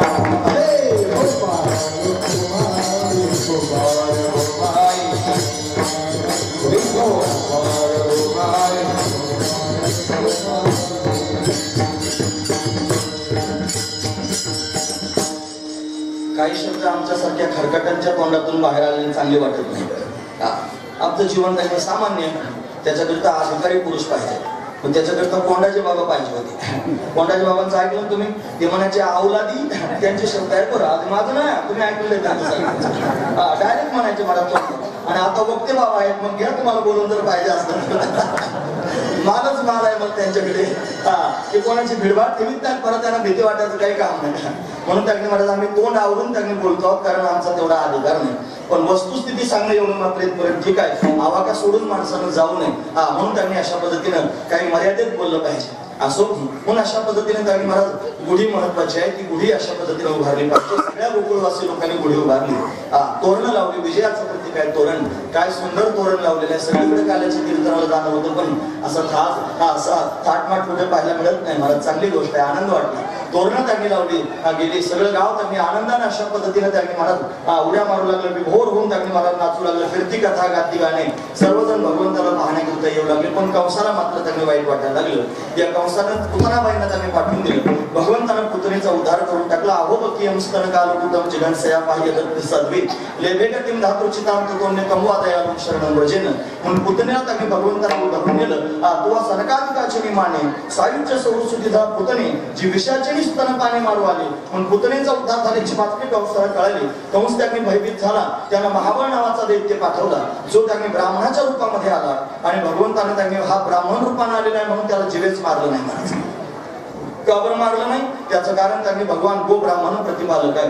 तो गोमातेचा प्रतिपाल करण्याकरिता आलेला आहे आणि तो ब्राह्मणाचा प्रतिपाल करण्याकरिता आलेला आहे. म्हणून त्यांनी महाराज गोर गो आणि ब्राह्मण दोघेही महत्वाचेच आहे म्हणून त्यांनी महाराज तसा भगवान श्रीकृष्ण परमात्मा गो ब्राह्मण प्रतिपालक आहे.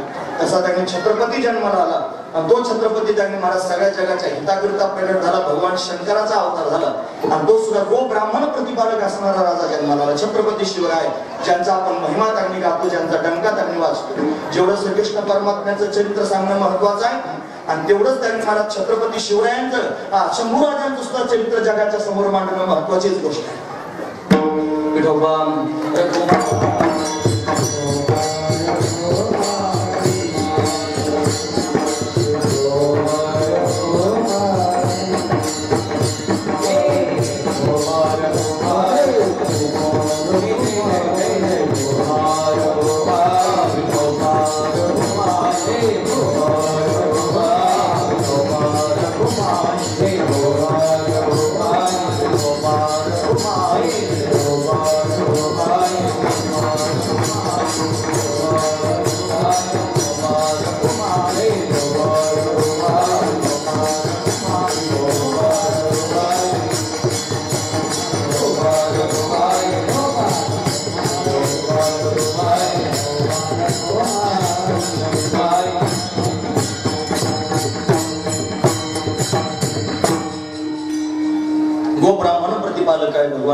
कृष्ण परमात्मा. तो प्रत्यक्ष प्रगट झाला. महाबळ नावाचा दैत्य आला तो त्यांनी ब्राह्मणाच्या रूपात आला. पण ब्राह्मणाला चिवेच मारू नये म्हणून भगवंताने फक्त त्याची विडंबना केली कारण तो नकली ब्राह्मण आहे. हा म्हणून त्याचे त्यांनी महाराज जानवं तुटलं पंचांग फाटलं धोतरही त्याचं त्यांनी मिळून गेलं. नागवाच परत गेला कंसाच्या समोर जाऊ नको म्हणून सांगायला. पण कंस काय ऐकण्यासारखा नव्हता कंसानं अनेक दैत्यांना पाठवलं महाराज. त्या कंसानं त्यांनी महाराज हा या यानंतर त्यांनी शकटासूर पाठवला. हा बैलगाडी घुसला आणि त्यांनी भगवंताला मारण्याचा प्रयत्न करू लागला. भगवंताच्या चरणस्पर्शाने त्यांनी उतरून गेला. तोंडावर्त नावाचा दैत्य आला दैत्य नामना तोंडावर्त कंस भक्ती प्रणव देतात. चक्रवात स्वरूपेने जहार असे मरभकम आरभकाला उचलण्याकरिता त्यांनी चक्रवात स्वरूपाने आला आणि भगवंताने त्यांनी महाराज त्याचाही उद्धार करून टाकला. यानंतर वत्सासूर आला त्याच्यानंतर धेनुकासूर आला त्याच्यानंतर व्योमासूर आला त्याच्यानंतर आघासूर आला त्याच्यानंतर केशी असूर आला त्याच्यानंतर आरिष्ठासूर आला. असे अनेक प्रकारचे असुर भगवंताने उद्धरून नेले हा सर्वांचा त्यांनी उद्धार करण्याकरिताच आला होता. आपण आधीच ऐकलं की हा खेळतोय तीन प्रकारचा खेळ तुमच्यासमोर जो सांगतोय तो असाच आहे. सगळ्या समाजाला दुराचार्यांच्या त्यांनी तावडीतून सोडवण्याकरिता भगवान त्यांनी खेळतोय सामान्य जीवांना समाधान प्राप्त करून दिलं आसुरांना मारून. महत्वाची गोष्ट आहे. त्यानंतर त्यांनी महाराज जे मुमुक्षी जीव आहेत त्यांच्या उद्धाराकरिता भगवंतानं तरतूद केली. ती त्यांनी महाराज बाल लिहिलेत बसत नाही. पण भगवंतानं अर्जुनाला गीता सांगितली आणि भगवंतानं उद्धवाला भागवत सांगितलं. भागवतातले त्यांनी सातव्या अध्यायापासून तर त्यांनी महाराज नवव्या अध्यायापासून सत्तावीसाव्या अध्यायापर्यंत उद्धव गीता आहे. हा भागवतातल्या एकादश स्कंधामध्ये भगवंताने उद्धवाला भरभरून त्यांनी उपदेश केला तो तू सर्व परित्यज्य स्नेहम सजन बंधुषु मयासक्त मनस्सम्यक समतृप विचार स्वगाम. म्हणून उद्धवाला उपदेश केला हे मुमुक्षून करता भगवंताने केला खेळ आहे. आणि तोच परमात्मा आता त्यांनी मला जीवनमुक्तांबरोबर खेळण्याकरिता प्रगट झालेला आहे. पण सर्वांवर कशी कृपा करतो ते बघा. यानं सर्व दैत्यांना उद्धवला असं नाही. मग काय केलं? अजून भक्ताला आनंद दिला. आनंद देण्याकरिता काय करू लागला? हा यशोदा राणीच्या अंगणात रांगू लागला. आनंद होतोय महाराज कन्हैया रांग. आपल्या घरातली छोटी छोटी लेकरं रांगायला लागली की आपल्याला किती आनंद होतो. आपल्या घरातलं लेकरू जर उभं राहायला लागलं तर केवढा आनंद होतो. बाळ उभा राहिलं कोणी नाही पाहिलं असं नाही. कोणाला कन्हैया उभा राहू लागला पाऊल टाकू लागला चालू लागला. चालता चालता पडू लागला मला छोटासा कन्हैया ठुमकचल तरंगला आलं. हा त्याच्या पायामध्ये पैंजण आहे. अतिशय सुंदर त्यांनी दिसतोय. आईने सुंदर असणारा शृंगार त्याचा करावा. घरातच कन्हैयानं त्यांनी पळायला सुरुवात करावी. घरातली घरात खेळतोय. हा, गोपिकांच्या घरात घुसतोय. तिथं लोणी खातोय. स्वतःच्या घरात त्यांनी महाराज लोणी घ्यावं. हा लोणी खायला सुरुवात केली. हा मग त्यांना लोणी खात असताना एक दिवशी घरात फिरत होता. चौऱ्याऐंशी खंबा मंदिर आहे. महाराज आजही त्यांनी जाऊन बघा तुम्ही वृंदावनात गोकुळामध्ये. चौऱ्याऐंशी खांब आहेत दगडाचे. मंदिर अजून तसंच आहे. ना तेव्हा कसे बांधकाम करत असतील माहीत नाही पण ते टिकून आहे महत्वाची गोष्ट आहे. म्हणून त्या प्रत्येक खांबाला आरसा लावलेला तो आरसा कन्हैयाच्या उंचीचा आरसा त्याने घरात त्यांनी पळावं. हातात लोण्याचा गोळा होता. तोंडाला लोणी लागलेलं होतं. आणि आरशात स्वतःला पाहिलं. आणि पाहिल्यानंतर त्याने हा विचार करायला लागला, अरे हा कोण आला म्हणे आपल्या घरात. तो स्वतःलाच पाहतो त्याला लिला करायची आहे मला त्याच्याशीच बोलायला आरशात त्या स्वतःच्या प्रतिबिंबाशी. हे मला तू कोण आहेस? आमच्या घरात कसं काय घुसलास? आणि वरतून लोणी खातोस म्हणला चोर आहेस म्हणला आमच्या घरात घुसला. थांब आईला जाऊन सांगतो. हा असं असं करायला लागलो आरशातून पण प्रतिबिंब असं असं करायला लागला. तर काय करायचं? मला असं असं करतो. थांब मी आईला घेऊन येतो. मैया मैया करत का नाही? या धावतच गेला. यशोदेला तर तिने विचारलं काय झालं का नाही? का धावतोय मैया आपल्या घरात चोर शिरला. म्हणजे कुठे लवकर जर म्हणे बघायला. तिचा पदर धरून ओढायला सुरुवात केली. आणि ओढत ओढत आरशाच्या समोर येऊन उभा राहिला. आणि स्वतःच दाखवायला लागलाय. हा हा बघ म्हणे हा चोर आहे. स्वतःकडच पोट करून दाखवतोय हा चोर आहे. का बरं असं घडलं असेल? याच्यात त्यांनी मला त्याला काही विशेष लीला करून दाखवायचे आईनं कन्हैयाला हृदयाला लावलं माझं बाळ हा गोड असणारी लीला करत आहे. तिला फार कौतुक त्याचं वाटायला लागलं. त्यानं त्यांनी मला तिला दाखवलं हे बघ हा चोर आहे. ऐसा पुराण प्रसिद्ध चोर. हा पुराण प्रसिद्ध त्यांनी चोर आहे. का बरं असं घडलं असेल? त्याचं कारण आहे यशोदा म्हणजे भक्ती आहे. आणि कन्हैया म्हणजे त्यांनी महाराज परमात्मा आहे. जर परमात्मा त्यांनी प्रत्यक्ष कशाच्या माध्यमातून प्रगट होत असेल तर तो भक्तीच्याच माध्यमातून प्रगट होऊ शकतो. कोणी केवढा मोठा ज्ञानी झाला तरी त्यांनी महाराज ज्ञानाचं पूर्णत्व भगवंताच्या दर्शनानं होतं. आणि भगवंताचं दर्शन हे भक्तीशिवाय होऊ शकत नाही. म्हणून ज्ञानामध्ये असतो प्रकाश आणि भक्तीमध्ये असते शक्ती. हा म्हणजे ज्ञानाच्या प्रकाशाने परमात्म्याला जाणावं आणि भक्तीच्या शक्तीने परमात्म्याला पाहावं. महत्वाची गोष्ट. पण भक्तीच्याच माध्यमातून देव त्यांनी पाहता येतो. हा म्हणून परमात्मा स्वतः दाखवतो आणि पुन्हा पुढचा मुद्दा सांगतो की आपण केवढाही अट्टास केला भगवंताला पाहण्याचा तरी परमात्मा आपल्या म्हणण्याने भेटत नसतो. ज्या दिवशी त्याला वाटेल आपल्याला दर्शन द्यायचंय त्या दिवशी तो स्वतःहून आपल्याला दर्शन देतो. म्हणून यशोधराणीचा पदर धरून ओढत आणि स्वतः स्वतःला दाखवतोय हा बघ म्हणे हा चोर आहे. म्हणजे स्वतःला त्यांनी दाखवतोय आईच्या समोर प्रगट करून. तसं त्यांनी आपल्या अंतकरणात जर यशोदा रूपी भक्ती प्रगट झाली तर परमात्मा स्वतः त्यांनी आपल्याला दर्शन देऊ शकतो हे या विधेतून शिकण्यासारखंच आहे. म्हणून प्रत्येक लिला ही त्यांनी भावगर्भित आहे. त्याच्यातला भाव त्यांनी आत्मसात करण्यासारखाच आहे. म्हणून त्यांनी हा लिला करतोय आता घरातलं लोणी खातो असं नाही. हा गोपिकांच्या घरात घुसू लागला. रांगत रांगत कन्हैयाने त्यांनी जावं आणि जाऊन त्यांनी महाराज गोपिकांच्या घरातलं पण लोणी खावं. हा मग अय, रांगत रांगणी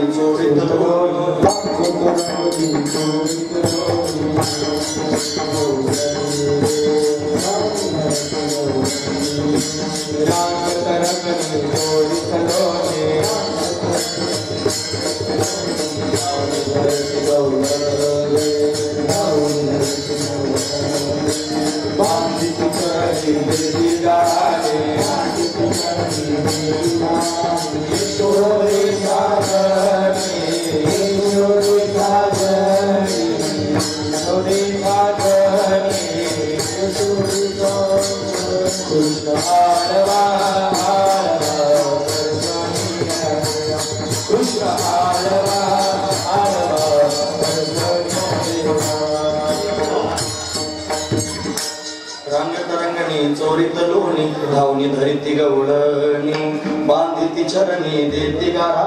यशोदे साजणी दही दूध भक्षुनी दमाल निळे नवल केले साजणी कृष्ण आडवा आडवा परतुनी मागे लावा कृष्ण आडवा आडवा. कन्हैया कमी गोपिकांच्या घरात बसू लागला. तिथं त्यांनी मला लोणी खाऊ लागला. गोपिकाने पाहावं मग काय करावं? बांधिती चरणी. हा, पायाला त्याच्या बांधून टाकायचं यशोदेला गारण सांगण्याकरिता जायचं. यशोदे मग तुझा मुलगा आमच्या घरात घुसून त्यांनी लोणी खातो. हा यशोदेला त्यांनी मला वाटावं कन्हैया लोकांच्या घरात जाऊन लोणी खातो. त्याचा कान पकडून त्याला सांगायला सुरुवात केली खबरदार जर कोणाच्या घरात जाशील तर हे कृष्णा तुला मी ताकीद करीते घरी कुणाच्या जाऊ नको कान्हा लोकांच्या घरी जाऊ नकोस गवड्या घरी बोभाटा उठला मात तयाची खोडू नको रे रागीत तुझा पिता आनंद मारता याचा खाऊ नको रे. असं स्पष्ट त्यांनी आई कन्हैयाला सांगू लागले. पण कन्हैया ऐकतो कशाचा महाराज? हा चोरी त्यांनी करतोय हातात लोण्याचा त्यांनी गोळा आहे. हा एक गोपी त्यांनी महाराज कन्हैयाला पकडूनच घेऊन आले. त्याच्या हातात लोण्याचा गोळा होता तोंडाला त्यांनी लोणी लागलेलं होतं. आणि यशोदेच्या समोर गारणं सांगण्याकरिता आले म्हणजे बघ तू त्यांनी आम्हाला प्रत्येक वेळा म्हणजे बाळ सगुण गुणाचे दाणे बाळ दिसतंय गोजिरवाने आणि काय सांगत गार आणि गोकुळच्या नारी आता पकडून आणलं की नाही याला? अरंगी हात त्यांनी पकडला. असं त्यांनी मला सांगायला सुरुवात केली. मग आई त्यांनी कन्हैयाकडे रागानं पाहायला लागली. कन्हैयाला मारहाण करणारे इतक्या त्यांनी महाराज कन्हैया बोलू लागला आई ही गोपी साप खोटं सांगते. मी लोणी खायला गेलो नाही. मी अजिबात चोरी केली नाही. तरी पण ही मला त्यांनी खोट्या माझ्यावर आळ घेऊन मला फसवण्याचा प्रयत्न करते रंगी हात पकडून आणलास ना देवा? हातात तुझ्या लोणी आहे तोंडाला लोणी लागलेला आहे. तुला माहीत नाही म्हणलं आई या सगळ्या ज्या गोपी आहेत ना? या सगळ्या त्यांनी मला कायमच मार बसवण्याच्या मागे असतात. मग काय केलं? मी रस्त्यानं चांगलं चाललो होतो मी फार सज्ज नाही देव म्हणतोय बरं. मी तर रस्त्यानं जात होतो या गोपीनं मला पाहिलं. आणि पाहिल्यानंतर धावत धावत आली तिच्याच घरातून लोण्याचा गोळा आणून माझ्या हातात दिला. आणि पुन्हा हातात तोंडाच्या गोळा देऊन माझ्या तोंडाला लोणी असं त्यांनी लावलं आणि तुझ्याकडे त्यांनी ओढत ओढत आणलं. आई मी खरंच चोरी केली नाही. मी नाही माखण काय मी नाही करलं काय चोरून त्यांनी अशा पद्धतीने ही गोपी त्यांनी सांगते आणि माझ्यावर खोट्या आळ घेते. यशोदा म्हणजे काय बोलतोस? ती त्यांनी माझ्यासमोर त्यांनी तुला घेऊन आली आहे. तिच्या घरातच लोणी आहे. तू त्यांनी चोरण्याकरिता गेलास तरी पण खोटं सांगतोय मग कन्हैया आईकडे किलकिला डोळ्याने पाहायला लागला. बरोबर आहे म्हणलं आई तुला माझं म्हणणं पटणारच नाही का? कारण का? गावातले सगळे लोक म्हणतात ना मला कुठून तरी दुसरीकडून आणलेलं आहे. मी त्यांनी तुझा मुलगाच नाही. हा, हे सगळं त्यांनी लोक म्हणतात. मला आता त्याची प्रचिती आली म्हणतात. मला ते खरं वाटायला लागले मला ज्या अर्थी मी एवढा जीव करून तुला खरं सांगतो तरी माझा कान पकडून मला मारण्याच्या तयारीत आहेस? माझ्या हातातलं लोणी तुला दिसतं माझ्या तोंडाला लागलेलं लोणी तुला दिसतं. आणि मी खरं सांगतोय की या गोपीने स्वतःच माझ्या हातात लोणी दिलं आणि माझ्या तोंडाला लोणी लावून त्यांनी अशा पद्धतीने मला मार बसवण्याच्या विचारात आहे. तुला माझं म्हणणं खरं वाटत नाही आणि तिचं म्हणणं खरं वाटतं याचा अर्थ नक्कीच मी तुझा मुलगा नाही. हा असं त्यांनी मला सिद्ध होतं. असं म्हटल्यावर यशोदेच्या डोळ्यातून घळघळा अश्रू वाहू लागले. अरे अरे कन्हैया असं म्हणून हा, नाही खाल्लं ही गोपी खोटं बोलताय. काय म्हणे तीन बारा खोट्या त्यांनी बोलतेच माझं बाळ त्यांनी खरं बोलताय. कन्हैयाला रडायला लावलं. आणि मग तो म्हणतोय ना मै नाही माखण खायो ते म्हणायची तूच माखण खाल्लं. परत त्यानं त्यांनी महाराज हा हट्ट करायला सुरुवात केली. मग आईच म्हणा लागली बाळा तर नाही माखण खायो तू नाही खाल्लं बाळा. लोणी त्यांनी दुसऱ्याच. ठीक आहे त्यांनी एक गोपिकाच अशा पद्धतीने खोटं सांगतायत. असं ज्यावेळेला आईचं बोलणं त्यांनी सुरू झालं आईच्या तोंडातून जेव्हा बघून घेतलं त्यावेळेला हळूहळू त्यांनी मला म्हणायला लागला मैया मैनेही माखण का? योगा मीच काल मीच काल म्हणा तिथे जाऊन. असा लिलाकरी हा कन्हैया घरामध्ये अशा पद्धतीनं लिला करतोय. सगळ्या गावाला त्यांनी अशा पद्धतीने वेळ कन्हयाला लावलं. सगळ्या गोकुळवासी लोकांनी कन्हैयाला पाहावं. विसरून जावं भारत. त्याच्या तिरक्या पाहण्यानं सगळ्या लोकांनी स्वतःला विसरून जावं. ब्रजनाचे उसकी किलक नपे गजलेली तिरची चितव नपे म्हणून हरिदास भय हे विभोर जय जय राधा रमण हरी बोल. म्हणून त्यांनी हा कन्हैया वृंदावनामध्ये खेळतोय. किती सुंदर आहे त्याचं सौंदर्य काय सांगा वायून शृंगार करावा. हे जरी की पगडी बांधे सुंदर हा खोवाला कितना सुंदर लागे बिहारी कितना लागे प्यारा. जरी की पगडी बांधे सुंदर हा खोवाला कितना सुंदर सुंदर लागे बिहारी कितना लागे प्यारा. अतिशय सुंदर असणारा हा कन्हैया. त्याच्या मस्तकावर त्यांनी जरीची पगडी आईने बांधावी त्याच्यावर मोर त्यांनी पीस लावावा मोर मुकुट वरतून अशा पद्धतीने ठेवावा.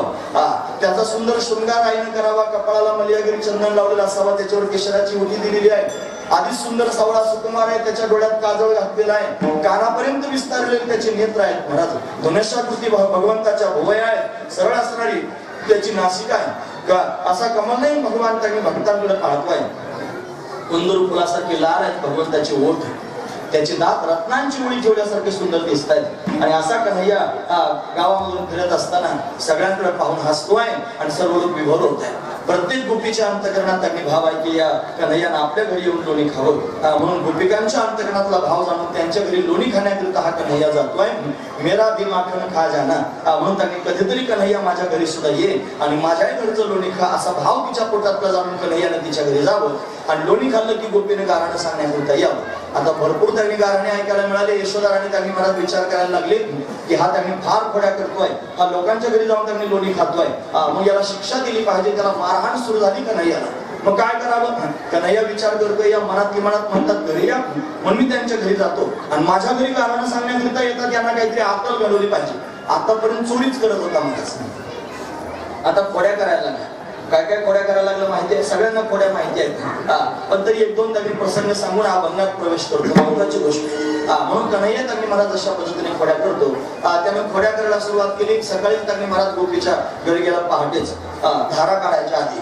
धारा काढायला सुरुवात करायची ना पहाटे. त्याच्या आधी त्यांनी जाऊन पोहोच काय केलं माहितीये गोठ्यातल्या सगळ्या गाया सोडून दिल्या मला सगळ्याच गायी सोडून दिल्या.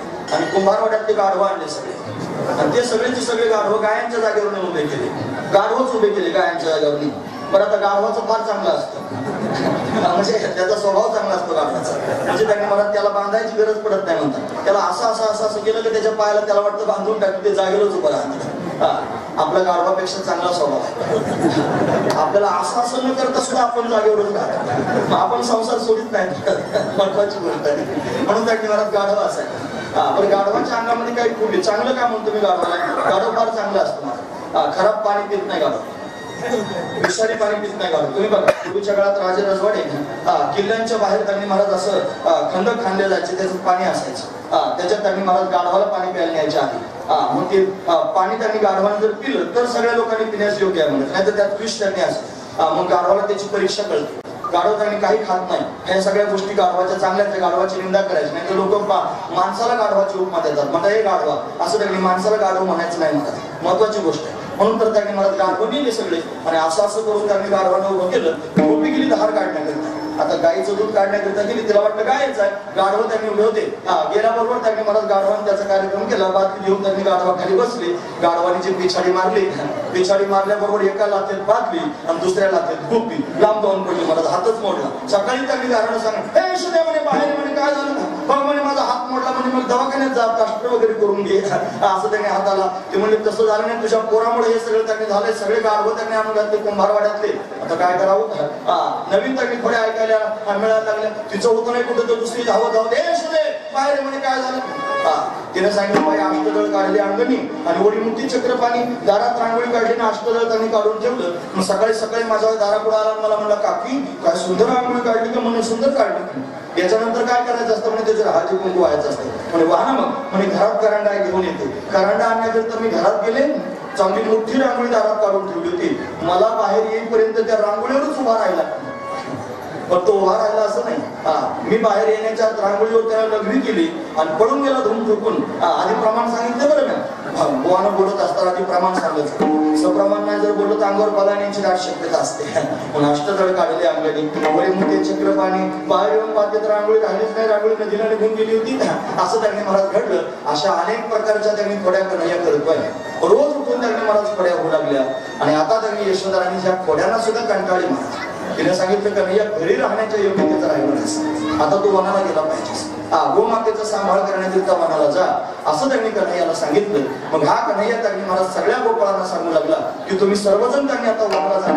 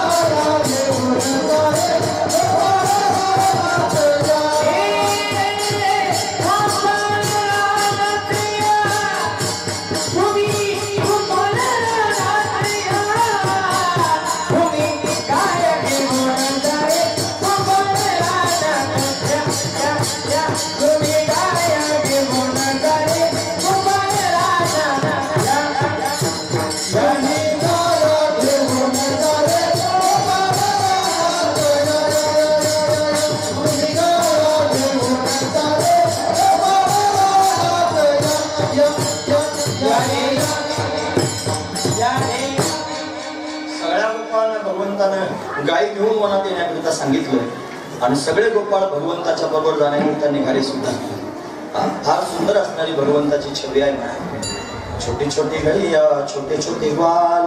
छोटो सो मेरो मदन गोपाल रे. कारी कारी गैया गोरे गोरे ग्वाल.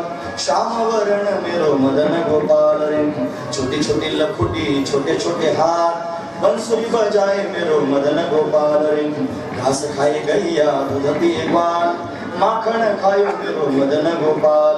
छोटी छोटी सखिया मधुबन बाग। रास चाय मेरो मदन गोपाल। कन्हैया अतिशय सुंदर आहे। वनाच्या दिशेने आम्ही महाराज कन्हैया गोपाळांच्या बरोबर जातोय. सगळे गोपाळ कन्हैयाच्या अवतीभोवती उड्या मारतायत महाराज.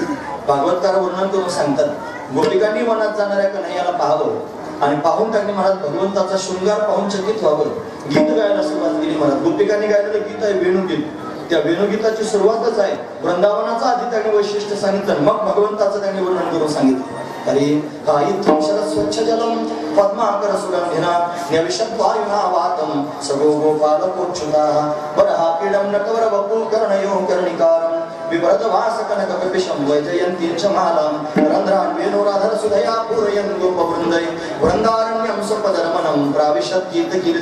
भगवंताचं वर्णन केलं. तुम्ही ऐकतात का सर्वजण? महत्त्वाचा मुद्दा सांगतोय. काय सांगतात? बरहा पिडम. बरहा म्हणजे मोराचा पीस. हा, आपीड म्हणजे धारण करणारा. बरहा पिडम. मोराचा पीस धारण करतो.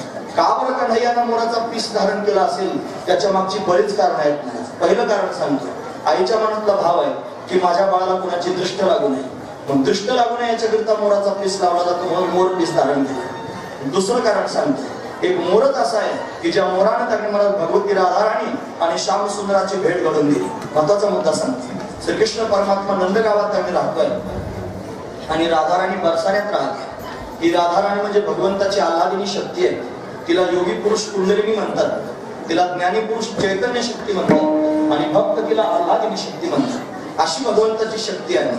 म्हणून ती त्यांनी मनात प्रत्यक्ष प्रगट झालेली आहे. राधा राणीची आणि श्रीकृष्ण परमात्म्याची भेट तर कशी घडली असेल एका मोराच्या माध्यमातून घडली.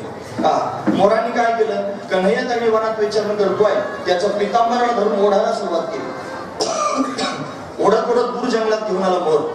आणि दुसऱ्या मोरानं त्यांनी महाराज राधाराणीच्या ओढणीला धरून ओढायला सुरुवात केली. आणि ओढत ओढत जंगलामध्ये आणलं. आणि जंगलात त्यांनी राधाराणी आणि श्रीकृष्ण परमात्मा यांची पहिल्यांदा भेट झाली. की पहिल्यांदा भेट कोणामुळे झाली असेल तर फक्त मोरामुळे झाली. पण देवानं त्या मोराकडे पाहिलं म्हणे मोरा तुझे माझ्यावर उपकार आहेत. की तुझ्यामुळे मला माझी राधा त्यांनी पाहायला मिळाली. म्हणून तर त्यांनी कधी विसरणार नाही तुझे उपकार. म्हणून त्यांनी मला त्या मोराचा पीस मस्तकावर धारण केला. दुसरं कारण आहे मोर पीस धारण करण्याचं. पहिलं कारण दृष्ट लागू नये म्हणून. दुसरं कारण उपकार आणि आठवण ठेवायचा म्हणून. आणि तिसरं कारण सांगतो डोंगरेजी महाराज सांगायचे रासलीला भागवतामध्ये प्रसिद्ध आहे. या रासलीला डोंगरेजी महाराज मदन मान लिला म्हणतो मदन म्हणजे कामदेव. मान म्हणजे अभिमान आणि मर्दन म्हणजे घालवणे. कामदेवाचा अभिमान घालवणारी लिला याला मदन मान मर्दन लिला म्हणते भगवंतानं सगळ्या गोपिकांबरोबर रास केली पण त्या रास लीलेमध्ये तिला मात्रही काम जागा झालं नाही. गोपिकांच्या अंतकरणातही काम नाही संसारातलं काम त्यांच्या पोटात नाही.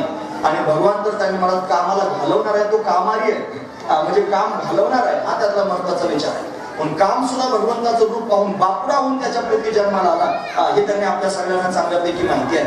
म्हणून तर त्यांनी मला काम भगवंताच्या समोर आला या कामानं पाच बाण सोडले महाराज कन्हैयाच्या अंगावर. ते त्यांनी महाराज काम बाण आहे. त्याच्यामध्ये वशीकरण आहे उद्दीपन आहे स्तंभन आहे. अशी त्यांनी बाणांची नावं आहेत महाराज त्या. एवढे बाण कन्हैयाच्या अंगावर सोडले पण कोणत्याही प्रकारचा काम त्यांनी कन्हैयाच्या अंतकरणात प्रवेश करून गेला नाही. आणि भगवंतानं त्यांनी गोपिकांबरोबर रासलीला केली. पण ही जी रासलीला आहे, ही बदनमान मर्दन लीला आहे. हा म्हणून त्यांनी महाराज हा, त्या रासलीलेचा अशा पद्धतीनं भाव अंतकरणात धारण करून भगवंतानं मोरपीस धारण केलं. रासलीलेचा त्यांनी या मोरपिसाचा काय संबंध आहे? मोर असा पक्षी आहे महाराज. जो मैथुना वाचून सृष्टी करतो. नंतर त्यांनी तो ढग जमा झाले आकाशामध्ये की नाचायला सुरुवात करतो. आणि एवढा सुंदर नृत्य करतो की त्याचं ते नाचणं पाहून त्याची असणारी ती मादी लांडोर त्याच्याजवळ येते. आणि त्याच्या नेत्रांमधून आनंदाचे आश्रू त्यांनी वाहतात. आणि ते आश्रू बिंदूंना त्यांनी म्हणत ती लांडोर टिपून घेते. ते अश्रुबिंदू पिते. आणि ते अश्रुबिंदू पिल्यानं त्यांनी म्हणत तिला गर्भधारणा होते. पण असं त्यांनी मोराचं वर्णन आहे. मैथुना वाचून सृष्टी करणारा पक्षी जर कोण असेल तर मोर आहे. तसं त्यांनी महाराज कोणत्याही प्रकारची मैथुनी क्रिया न करता अंगसंगातून विलक्षण सुख प्राप्त करून दिलं परमात्म्यानं. काम जिथे कुठे प्रकट झालाच नाही. म्हणून त्यांनी महाराज जसं मोर आहे तशी ही लीला भगवंतानं केलेली आहे. म्हणून मोरपीस मस्तकावर धारण केला. वराहा पिडम नटवर वकू म्हणजे नाचणाऱ्यांमध्ये श्रेष्ठ असणारा कन्हैया. दोघे नाचतात भगवान शंकर नाचतात आणि श्यामसुंदरे नाचतो. नाचणांमध्ये श्रेष्ठ आहे. कर्णयो कर्णिकारम कानाच्या खोलीमध्ये ज्यानं कनेरीची फुलं खोवलेली आहेत वैजयंतींची माला गळ्यामध्ये वैजयंती माला आहे विभ्रत वास कनक कपिशम वास म्हणजे वस्त्र. विभ्रत म्हणजे परिधान करणं कनक म्हणजे सोनं. सोनेरी रंगाचं वस्त्र ज्यानं परिधान केलेलं आहे कनक कपिशम वैजयंतींची माला. रंध्रान वेणू राधर सुदया पोरयन गोपवृंद आहे. म्हणून त्याने आधारावर त्यांनी वेणू धारण केलेला आहे. ज्यानं छिद्रायतना बांबूला? असा वेणू आधारावर धारण केला. आणि मग सगळे गोपाळ भगवंताची कीर्ती वर्णन करतायत त्याच्या आजूबाजूला उड्या मारतात ही दिव्य असणारी छबी त्यांनी साधू संतांनी वर्णन करून सांगितली.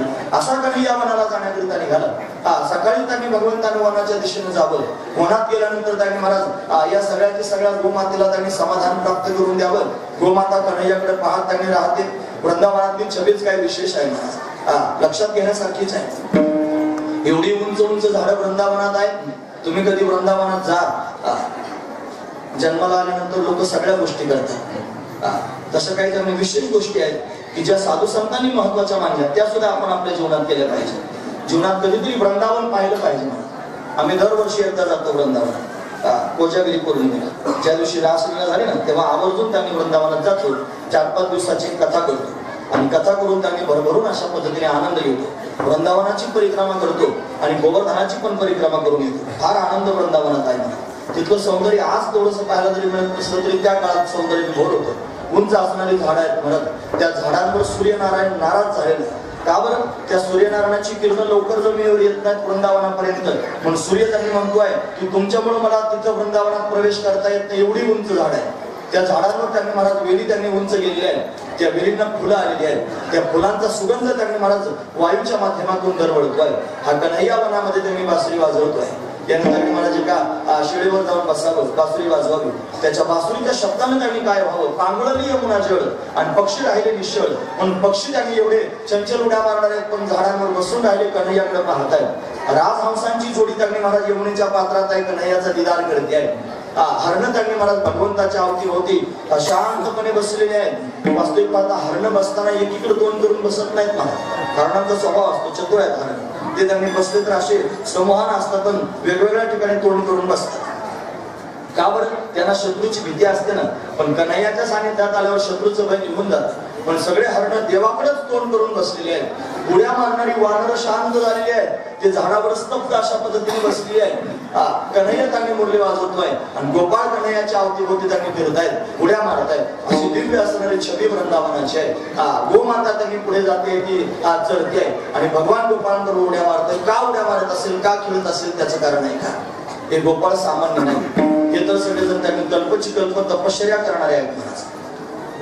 ज्यांनी भया विलक्षण असणारी तपश्चर्या केली त्यापेक्षा भयानक तपश्चर्या केली. हे भयानक शब्द त्याने लावला पाहिजे अहो कितीतरी दिवस त्याने उपाशी राहून भगवंताच्या प्राप्तीकरिता अट्टहास करणं याने अग्नीचा विचार केला नाही याने पाण्याचा विचार केला नाही त्याने थंडी गाठाचा विचार केला नाही एका पायावर उभं राहून तपश्चर्या काहींनी केली. भगवान प्रत्यक्ष प्रगट झाला विचारलं काय पाहिजे तुम्हाला? म्हणे काय नाही देवा तुझं सानिध्य पाहिजे. आणि त्या सानिध्याकरताच अशा पद्धतीने तुझ्या संगतीमध्ये आलेलो आहोत. हा म्हणून त्यांनी मला भगवंतानं वरदान दिलं तो अपार युगात सगळेजण या माझं सानिध्य तुम्हाला सर्वांना प्राप्त होईल. म्हणून तर त्यांनी मला सर्व गोपाळ भगवंताच्या सानिध्यात आहेत. ते एकही सामान्य नाही सगळे तपस्वी आहेत. तपस्वी त्यांनी गोपाळ होऊन भगवंताच्या सानिध्यात उड्या मारतायत महत्वाची गोष्ट आहे. आता गाई तर चरतायत. आणि गाई चालत असताना त्यांनी मला आता सगळ्यांना त्यांनी भूक लागलेली आहे पोटामध्ये. मग काय केलं पाहिजे? हा जेवण केलं पाहिजे. मग जेवण करण्याकरिता सर्वांनी एकत्र आलं पाहिजे. म्हणून त्यांनी मला सगळ्या गोपाळांनी मिळून कन्हैयाच्या संगतीमध्ये निर्णय केला. आणि काय निर्णय केला? की या सगळ्या त्यांनी पांगलेल्या ज्या गायी आहेत त्या सगळ्या गायींची वळती आणूया एका जागेवर गायींना त्यांनी बसूया आणि आपण सर्वजण एकत्र येऊन त्यांनी भोजन करूया. असा निर्णय गोपाळांच्या माध्यमातून झाला. तो निर्णय तुकोबर या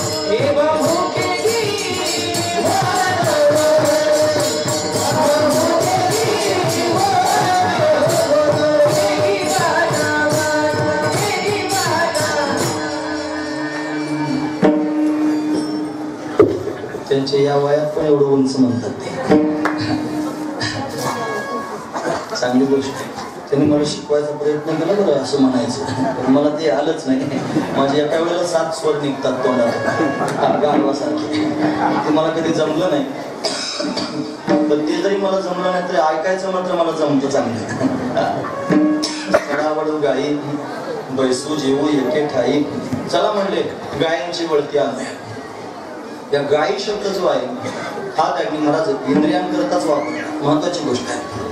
पण इंद्रिय याच गायी आहेत महाराज. इंद्रिय त्यांनी अकरा आहेत. तुम्ही आता सर्वजण महत्त्वाचा मुद्दा आहे. आपलं ठरलेलं आहे ना साडेबारा वाजेपर्यंत तुम्हाला सगळ्यांना मान्य आहे ना नाही तर सरळ अर्थ सांगून परत सारखं करतो. ऐका थोड्या वेळ.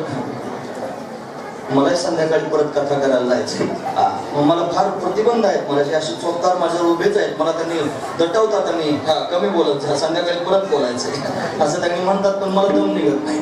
लोक माझ्यावर नाराज होतात लांबवलं म्हणून पण ते झाले तर झाले. मला कुठं कोणाकडे नांदायला जायचे मला देवाचं चिंतन करायचं महत्वाची गोष्ट आहे मला. म्हणून त्यांनी अशा पद्धतीनं इंद्रिय त्यांनी आहेत. आणि ते इंद्रिय हेच काही आहेत. पंच ज्ञानेंद्रिय आहेत. पंच कर्मेंद्रिय आहेत. आणि त्या सगळ्या इंद्रियांवरचा मालक मन आहे. मन हे इंद्रिय आहे. हा, म्हणून त्यांनी अकरा इंद्रिय. ही इंद्रिय त्यांनी महाराज आवरणं फार कठीण आहे. हा, सगळ्या इंद्रियांना आवर घालणं तेवढं सोपं नाही. जर तुम्हाला खरोखर आत्मसुख भोगायचं असेल जर खरोखर त्यांनी ब्रह्मसुख प्राप्त करून घ्यायचं असेल तर ते ब्रह्मसुख तुम्हाला त्यांनी महाराज विषयांच्या माध्यमातून प्राप्त होणार नाही. हे इंद्रियांचा ओढा स्वाभाविकपणे विषयांकडे आहे. पाच प्रकारचे विषय आहेत. शब्द स्पर्श रूप रस आणि गंध पाच प्रकारचे विषय या पाच विषयांकडे इंद्रिय स्वाभाविकपणे ओढतात. आणि त्या विषयांच्या माध्यमातून त्यांनी महाराज इंद्रियांना सुख प्राप्त होतं. जर इंद्रियांना विषयाच्या पर्यंत त्यांनी जाता आलं नाही किंवा विषय प्राप्त झाल्यानंतर इंद्रियांना जर बाजूला करण्याचा प्रयत्न केला तर ते इंद्रिय सहजासहजी वेगळे होत नाहीत. महाराज फार वेदना होतात. बाजूला करत असतात. का सारसाही बिघडतात? माऊलीने दृष्टांत दिले सारस नावाचा पक्षी असतो. आणि तो पक्षी त्याने महाराज त्याची मादी रात्रीच्या वेळेला त्याने महाराज तो इकडच्या काठावर असतो नदीच्या. आणि ती पलीकडच्या काठावर असते. मग त्याने महाराज तो तिकडून आवाज देतो. त्यानं आवाज दिला की त्याची मादी इकडून आवाज देते. मग दोघे एकमेकाला भेटण्याच्या उद्देशानं उडी मारतात हा इकडच्या काठावर येतो ती तिकडच्या काठावर जाते. रात्र झालेली असते ना ते दिसत नाही एकमेकाला. परत आवाज देतात आणि परत तिकडे गेला. परत तिकडे येते परत तो तिकडे जातो. रात्रभर त्यांनी असं होत राहतं. फार व्याकुळ होतात. पण कुठपर्यंत होईल? दिवस उजडत नाही तोपर्यंत. दिवस उजेडावर एकमेकाला दिसतात आणि मग भेटतात भेटतात सुद्धा. त्यांचा वियोग तिथे त्यांनी महाराज थांबतो. सारसाही विघडता का वावरणी वत्स काढिता धार काढायच्या वेळेला त्यांनी महाराज हुशार शेतकरी असतो ना आधी वासरू सोडतो. वासरू सोडल्यानंतर वासरूला पाहून गाय त्यांनी पाना सोडते आणि गायीनं चांगला पाना सोडलं की वासरूला ओढलं जातं. मग वासरूला भूक लागलेली असते त्याच्यासमोर दूध आलेलं असतं. मग त्याला ओढून घेतलं जातं. त्या वासरूला जेवढ्या वेदना त्या कासेपासून बाजूला काढताना होतात. तेवढ्या वेदना इंद्रियांना विषयापासून दूर करताना होतात. महत्वाची गोष्ट.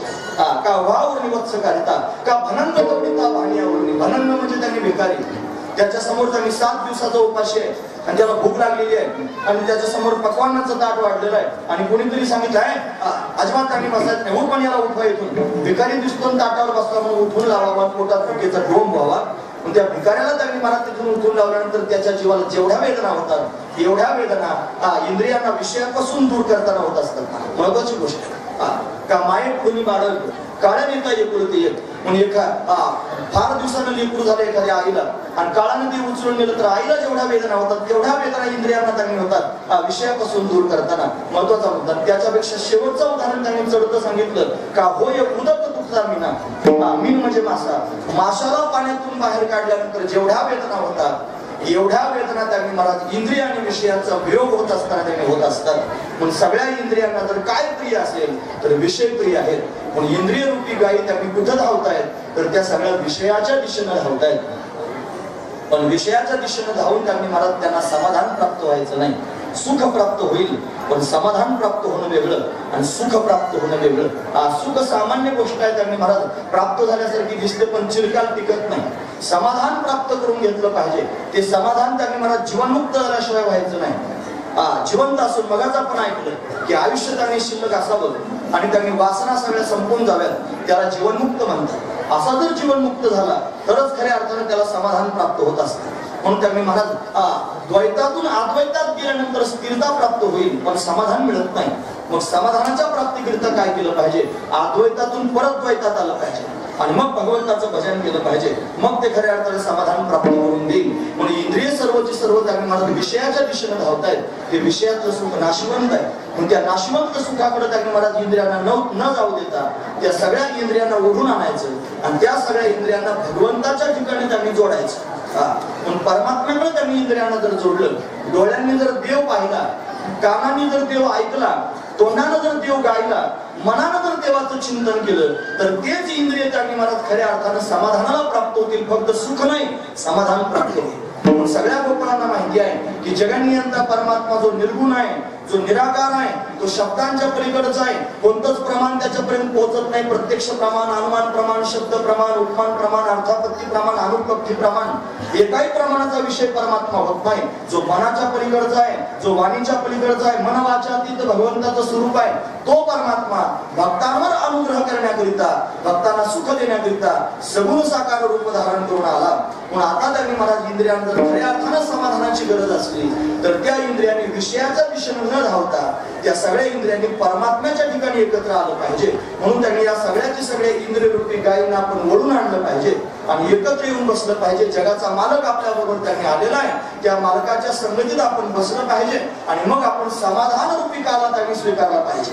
महत्वाची गोष्ट आहे. पण चला सगळ्या लोकांनी निर्णय केला चला. वळू गाई सगळ्या गायींना म्हणजे सगळ्या इंद्रियांना त्यांनी मला वळून आणून आणि बैसू कुठे? भगवंताच्या संगतीत बैसू फक्त बसू नये मग जीवू काय जेवायचंय? समाधान भगवंताच्या संगतीत प्राप्त करून घ्यायचंय. बैसू जीव आणि एके ठाई हा एके ठाई शब्द त्याच्या गणिताच आहे. भगवंताच्या बरोबर जीव एकाच ताटात जेवण करू कोणाच्या? देवाच्या संगतीत त्यांनी सुख प्राप्त करून घेऊ. आणि त्या सुखाने खऱ्या अर्थानं समाधानी होऊ. पण भगवंताच्या संगतीतलं जे सुख आहे ते त्यांनी सामान्य सुख नाही. त्याच्यातून तृप्ती प्राप्त होते आणि निरांकुशा तृप्ती प्राप्त होते. विषयातून त्यांनी सुख प्राप्त होतं आणि विषयातून त्यांनी तृप्ती झाल्यासारखी वाटते. पण ती निरांकुशा तृप्ती नसते ती त्यांनी मला पुन्हा दुसऱ्या विषयांना त्यांनी आमंत्रण देणारी असते. पण भगवंताची संगती प्राप्त झाल्यानंतर कृतार्थ अवस्था प्राप्त होते कृतकृत्य अवस्था प्राप्त होते. गुरुजी वर्णन करून सांगायचे गुरुजी म्हणजे वैकुंठवासी रंगनाथ महाराज परभणी. ते म्हणायचे जे प्राप्त करून घेतला असता जगात काहीच प्राप्त करून घेण्याचं शिल्लक राहत नाही त्याला कृतकृत्य अवस्था म्हणावं. पण बैसू जीव एके ठावी म्हणजे त्यांनी भगवंताच्या सानिध्यामध्ये बसू आणि त्याच्या बरोबरच आपण जीव म्हणजे समाधान प्राप्त करून घेऊ. म्हणजे खऱ्या अर्थानं कृतकृत्य अवस्था प्राप्त होईल. हा भाव गोपाळांच्या अंतकरणातला आहे. म्हणून गोपाळ म्हणतात चला आता त्यांनी निघालं पाहिजे. तुम्ही ऐकतात ना सर्वजण? महत्त्वाचा मुद्दा सांगतो. अभंग उगीच ऐकायचं नाही म्हणायचं. जे खरोखर परमार्थावर आरूढ झालेले आहेत. त्यांनी निर्णय करायचा. निर्णय करून लागले भगवंताच्या सानिध्यात जाण्याकरिता निघायचं मग सगळ्यांच्या तोंडातून एक शब्द आला पाहिजे चला. म्हणजे देवाच्या दिशेने चला. हा, वडूगाई म्हणजे सगळ्या इंद्रियांना बाहेर पाठव न पाठवता हृदयात असणारा भगवान आहे त्याच्याजवळ एकत्र करू कैसा हृदयामध्ये मी राम सदा सकळ सुखाचा आराम का भ्रांता शिकाम विषयावर म्हणून इंद्रियांच्या माध्यमातून बाहेरून सुख प्राप्त करून घेण्यापेक्षा आपल्या हृदयात त्यांनी देव आहे. त्या देवाच्या जवळ खऱ्या अर्थानं सुख आहे. पण त्या देवाच्या जवळ जाऊन बसू आणि बसून त्यांनी मला आपलं जे आत्मसुख आहे ते प्राप्त करत समाधानाला प्राप्त होऊ जीवू आणि एक एक म्हणून त्यांनी त्याच्या हृदय गवायचे आणि असा विचार केला चला त्याच्या हृदय मंचकावरती दोन वास्तव्य करतात. काय? जीव परमात्मा दोन्ही बैसोनी ऐक्या ऐक्या सनी जयाचे हृदय भुवनी विराजते. त्याच्या हृदय भुवनामध्ये त्यांनी जीव आणि परमात्मा दोन वास्तव्य करतात आणि एक एक वास्तव्य करतात. हृदय म्हणजे एक ठिकाण. आणि तिथं दोघं एकत्र येतात. आणि दोघे एकत्र आल्यानंतर ते त्याचे हो येत या नाव सुख. मग खऱ्या अर्थानं त्यांनी मला जर सुख कशात असेल तर ते त्यांनी मला इथंच आहे. मग ते भगवंताच्या सानिध्यात प्राप्त होईल म्हणून चला आजपर्यंत ज्या समाधानाच्या प्राप्तीकरिता आपण फिरत होतो ते इंद्रियांच्या माध्यमातून विषयाच्या माध्यमातून प्राप्त करण्याचा प्रयत्न करतो. हे बघा प्रमात्याची वृत्ती प्रमाणद्वारा आणि प्रमेयापर्यंत जाते.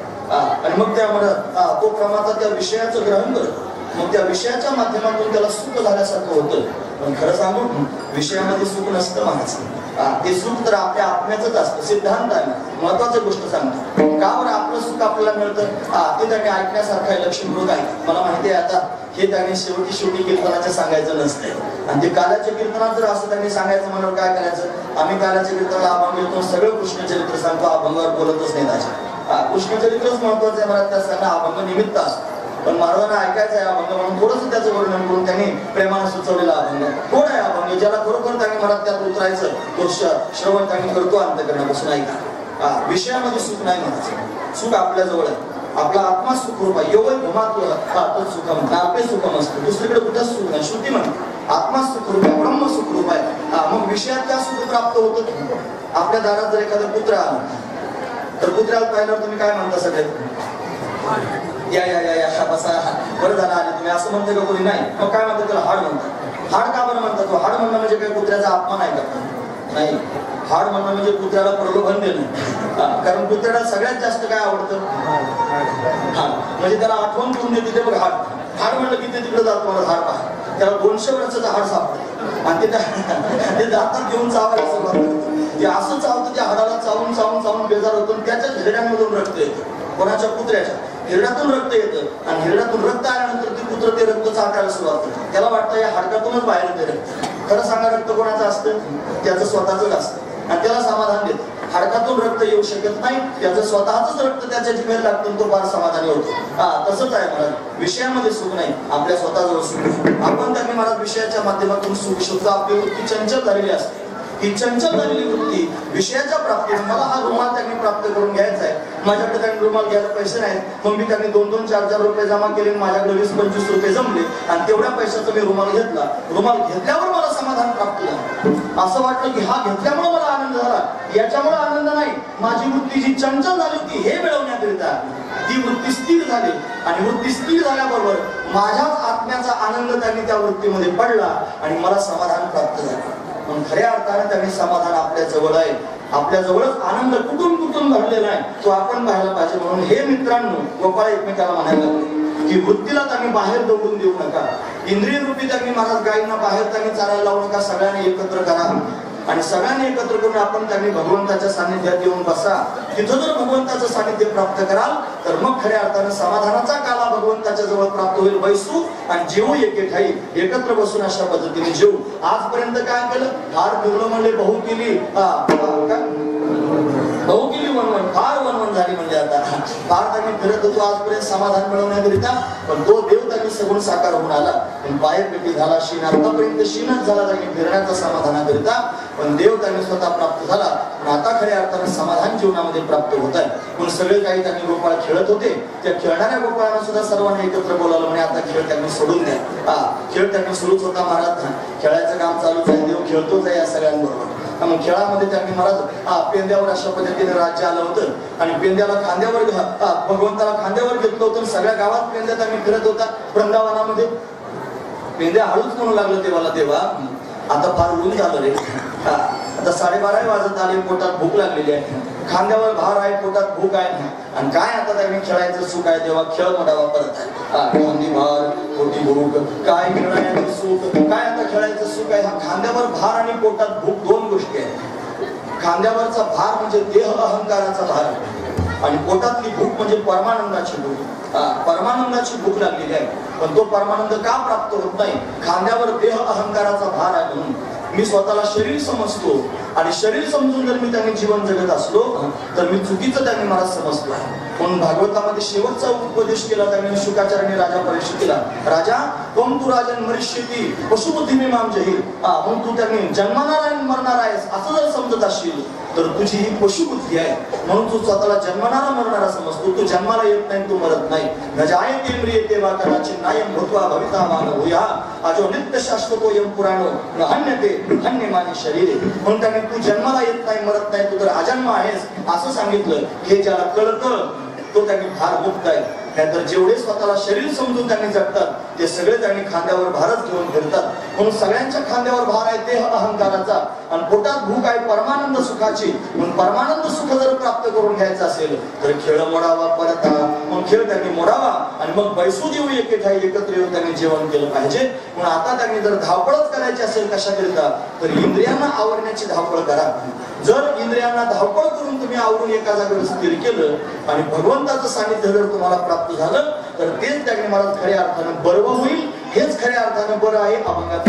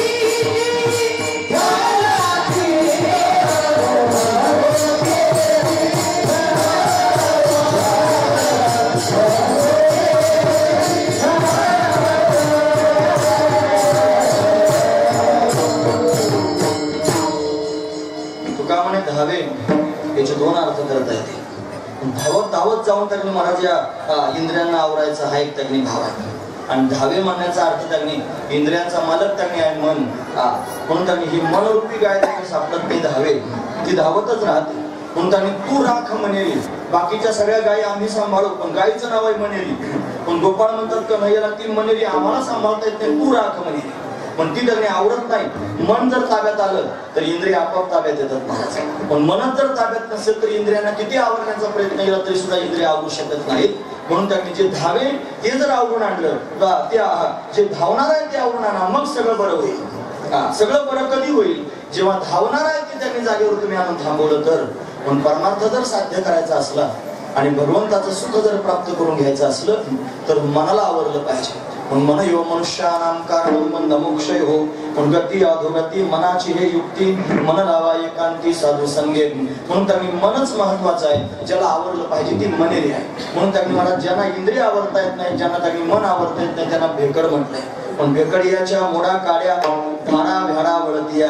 म्हणजे भेकड आहेत त्यांच्या काड्या मोडा म्हणतात त्यांना खेळात घेऊ नका. त्यांना त्यांनी वळत्या आणण्याकरिता पाठवा. असं सांगून काही गोपाळांना खेळात घेत नाही. मग गोपाळचे स्वतःचं मन आवरून घेऊन येतात. त्यांना त्यांनी मला अवघे बरवे मग खऱ्या अर्थानं समाधान प्राप्त होतं अशी स्थिती आहे. कन्हैया त्यांनी वनामध्ये अशा पद्धतीने खेळतोय? पण वनात गेल्यावर सुद्धा खोड्या करायच्या बंद केल्या नाहीत महाराज. म्हणून त्यांनी हा तिथेही त्यांनी खोड्या करतोय. काय केलं? यानं नाकाबंदी करायला सुरुवात केली. हे नाकाबंदी कशाचे? गोपिकाने डोक्यावर माठ घेऊन जावे तुडीवरी तुडी गवळणी साथी निघाल्या. आणि त्या जात असताना त्यांनी महाराज यांना तिथंच त्यांनी अडवायचे. आणि अडवून त्यांनी महाराज त्यांचं दही दूध तूप लोणी त्यांनी खाऊन टाकायचे. त्याला काय म्हणतात? खडे मारायचं असतं ते गलवर. अशी त्यांनी गलवर त्यांनी हातात घेऊन बसायची. आणि नेम धरून त्यांनी खडा मारायचा महाराज माठ फोडून टाकायचा. असे त्यांनी बरेच माठ फोडले त्यांना. तुम्ही एकदा सर्वजण? त्याच्याशिवाय माठ कोणाला फोडता येत नाहीत महाराज. हे माठच आहे आपलं हे जे शरीर आहे ना याला माठ म्हणायचं. हा, म्हणून त्यांनी फिरविला घट फोडीला चरणी. आणि महावाक्य ध्वनी बोंब झाली. हा घट म्हणजे त्यांनी शरीराला घट म्हणले. सर्वा घटी राम देहा देय म्हणजे देह अहंकाराचा बाध भगवंताने केल्याशिवाय होत नसतो. पण भगवंतानं अनेकांचे माठ फोडले त्याचं हे तात्पर्य पण माठ फोडल्याची कारणे पुन्हा घरी जावं लागले. हा वनात तर जातो खरा. पण तिथेही आमचे माठ फोडतो. आता काय करायचं? घरी आलं की परत कन्हैयाला त्यांनी बोलणे बसू लागले. एक गोपी तिचं नाव तर प्रभावती. आणि गारणं सांगायला गेले हा बारा वाजून वीस मिनिटं झाली होती.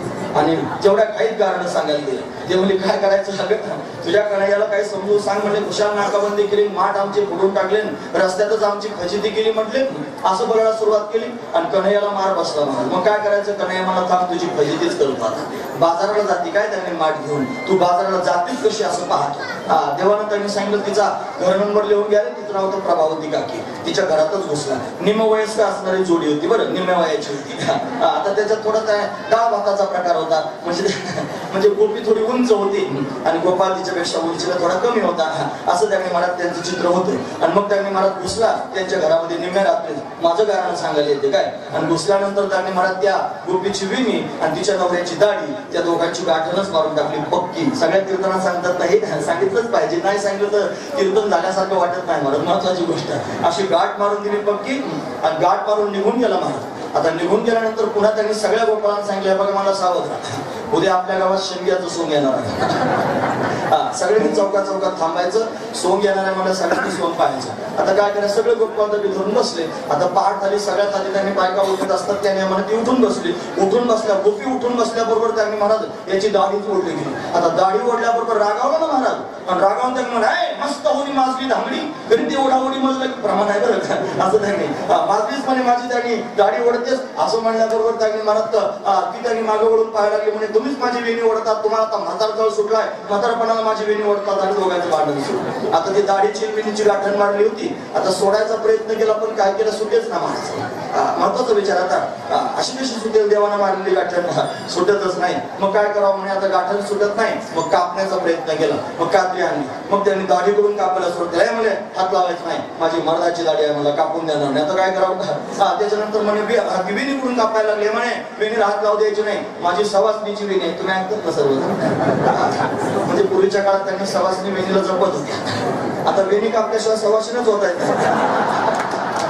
महत्वाची गोष्ट आहे. म्हणून त्यांनी मला वेणी करायचं मग आता नाहीलाच झाला मला सकाळचे दहा वाजले. पहाटेच घर उघडत असताना दहा वाजले तरी अजून त्यांनी मला दरवाजा उघडत नाही सगळं गाव विचार केला म्हणजे नेम्या वयाची जोडी आहे. बरं मुलं त्यांनी अमेरिकेला गेले. घरात दोघं त्यांनी आहेत.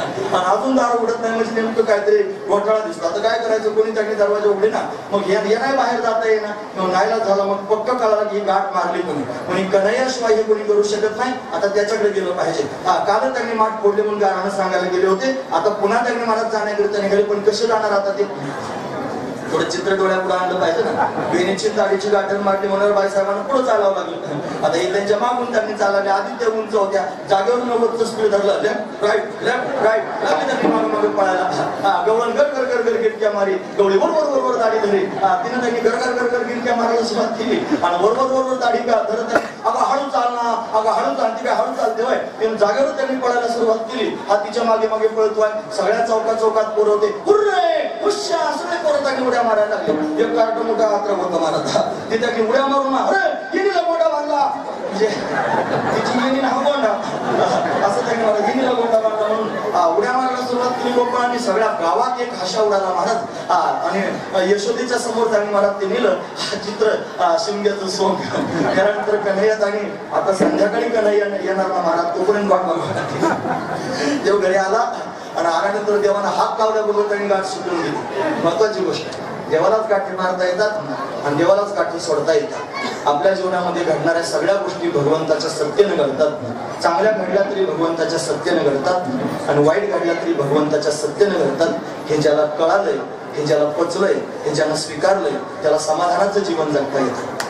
समाधान म्हणजे हे जीवनामध्ये हवं असं वाटत असेल तर भगवानच सगळं काय करतो आहे असा निर्धार अंतकरणामध्ये ठेवा आणि स्वतःला भगवंताच्या चरणावर समर्पित करून त्याला म्हणा की तू मला चालव तू जसा चालवशील तसा मी चालत आहे हा हे महत्वाचं आहे मला हे लक्षात ठेवण्यासारखंच आहे. म्हणून त्यांनी मला अशा पद्धतीनं सगळ्या गोकुळवासी लोकांना एवढा आनंद होत होता. हा गोपाळांबरोबर भगवंतानं उड्या मारल्या खेळ खेळले आणि बैसू जेऊ एके ठाई म्हणल्यानंतर त्यांनी महाराज सर्वजण एकत्र आले. खडकावर त्यांनी अशा पद्धतीने येऊन बसले. आणि खडकावर बसून त्यांनी अशा पद्धतीनं सगळ्यांच्या शुद्र एकत्र केलं पानांचं द्रोण तयार केलं. ते हातामध्ये त्यांनी अशा पद्धतीने घेतलं. त्याच्यात त्यांनी काला तयार केला. आणि गोपाळांना भरवायचा सगळ्या गोपाळांना कमलाकारकांनी बसवलं छोटे छोटे गोपाळ जवळ घेतले मोठे मोठे जरा थोडे दूर ठेवले. हा छोटे छोटे म्हणजे त्यांनी जे त्यांनी अनन्य भावानं शरण आले ते छोटे आहेत त्यांना जवळ घेतले. आणि ज्ञानाच्या अभिमानाने फुगले त्यांना थोडस जरा दूर बसले आणि मग स्वतः काला वाटू लागला भागवतकार त्याचं वर्णन करून सांगतो हरी अभिभ्रत वेणुं जठर पटयो शुंग वेत्रेच कक्षे वामी पानो मश्वण कवलम तत्फला निंबुलेषु तिष्ठन्मध्ये स्वपरि सुरधो आसे नर्म विस्मय स्वर्गे लोके विशति बहुजे यज्ञ भोपाल केली। गोपाल कृष्ण भगवान भगवंताने त्यांनी काला केला सगळे गोपाळ संतुष्ट आहेत हा प्रसंग इथपर्यंत सांगायचा असतो.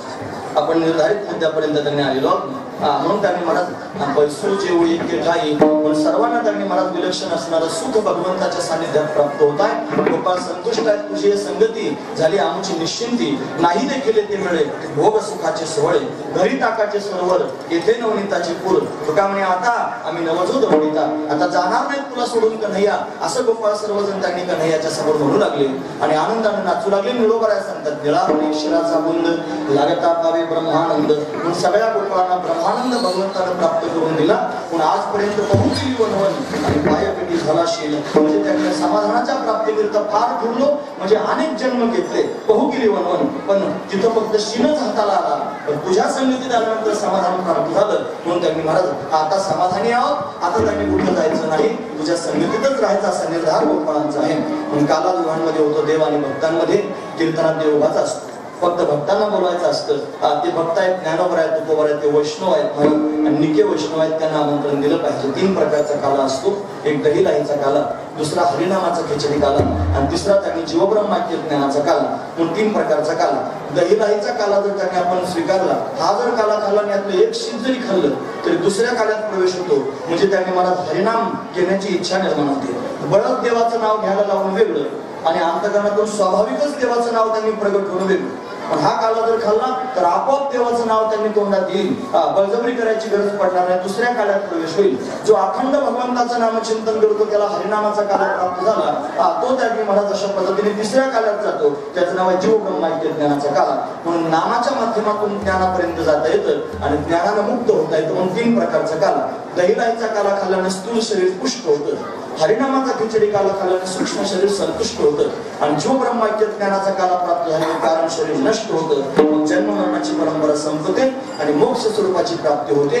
जिवंतपणेच मोक्ष भोगायला मिळतो. म्हणून त्याने मला चला वडू गाईन बैसू खाऊ एक बहुगिरी वनवन पाय पेटी झाला शिन खांदी भार पोटी भूक काय खेळायचे सुख? हा सगळा खेळ आता त्याने मोडून टाकला पाहिजे. आणि भगवंताच्या सानिध्यात आपण त्यांनी महाराज धावत धावत सगळ्या इंद्रियांना जमा करून त्यांनी आणून स्थिर झालं पाहिजे. तरच खऱ्या अर्थानं समाधान हेच त्यांनी अवघड समाधानाचं लक्षण आहे असं त्यांनी महाराज वर्णन करून सांगतात. म्हणून त्या सगळ्या भक्तांना आपण खाल्याचा प्रसाद आपण एक प्राप्त करून घेऊया. हे ज्ञानेश्वर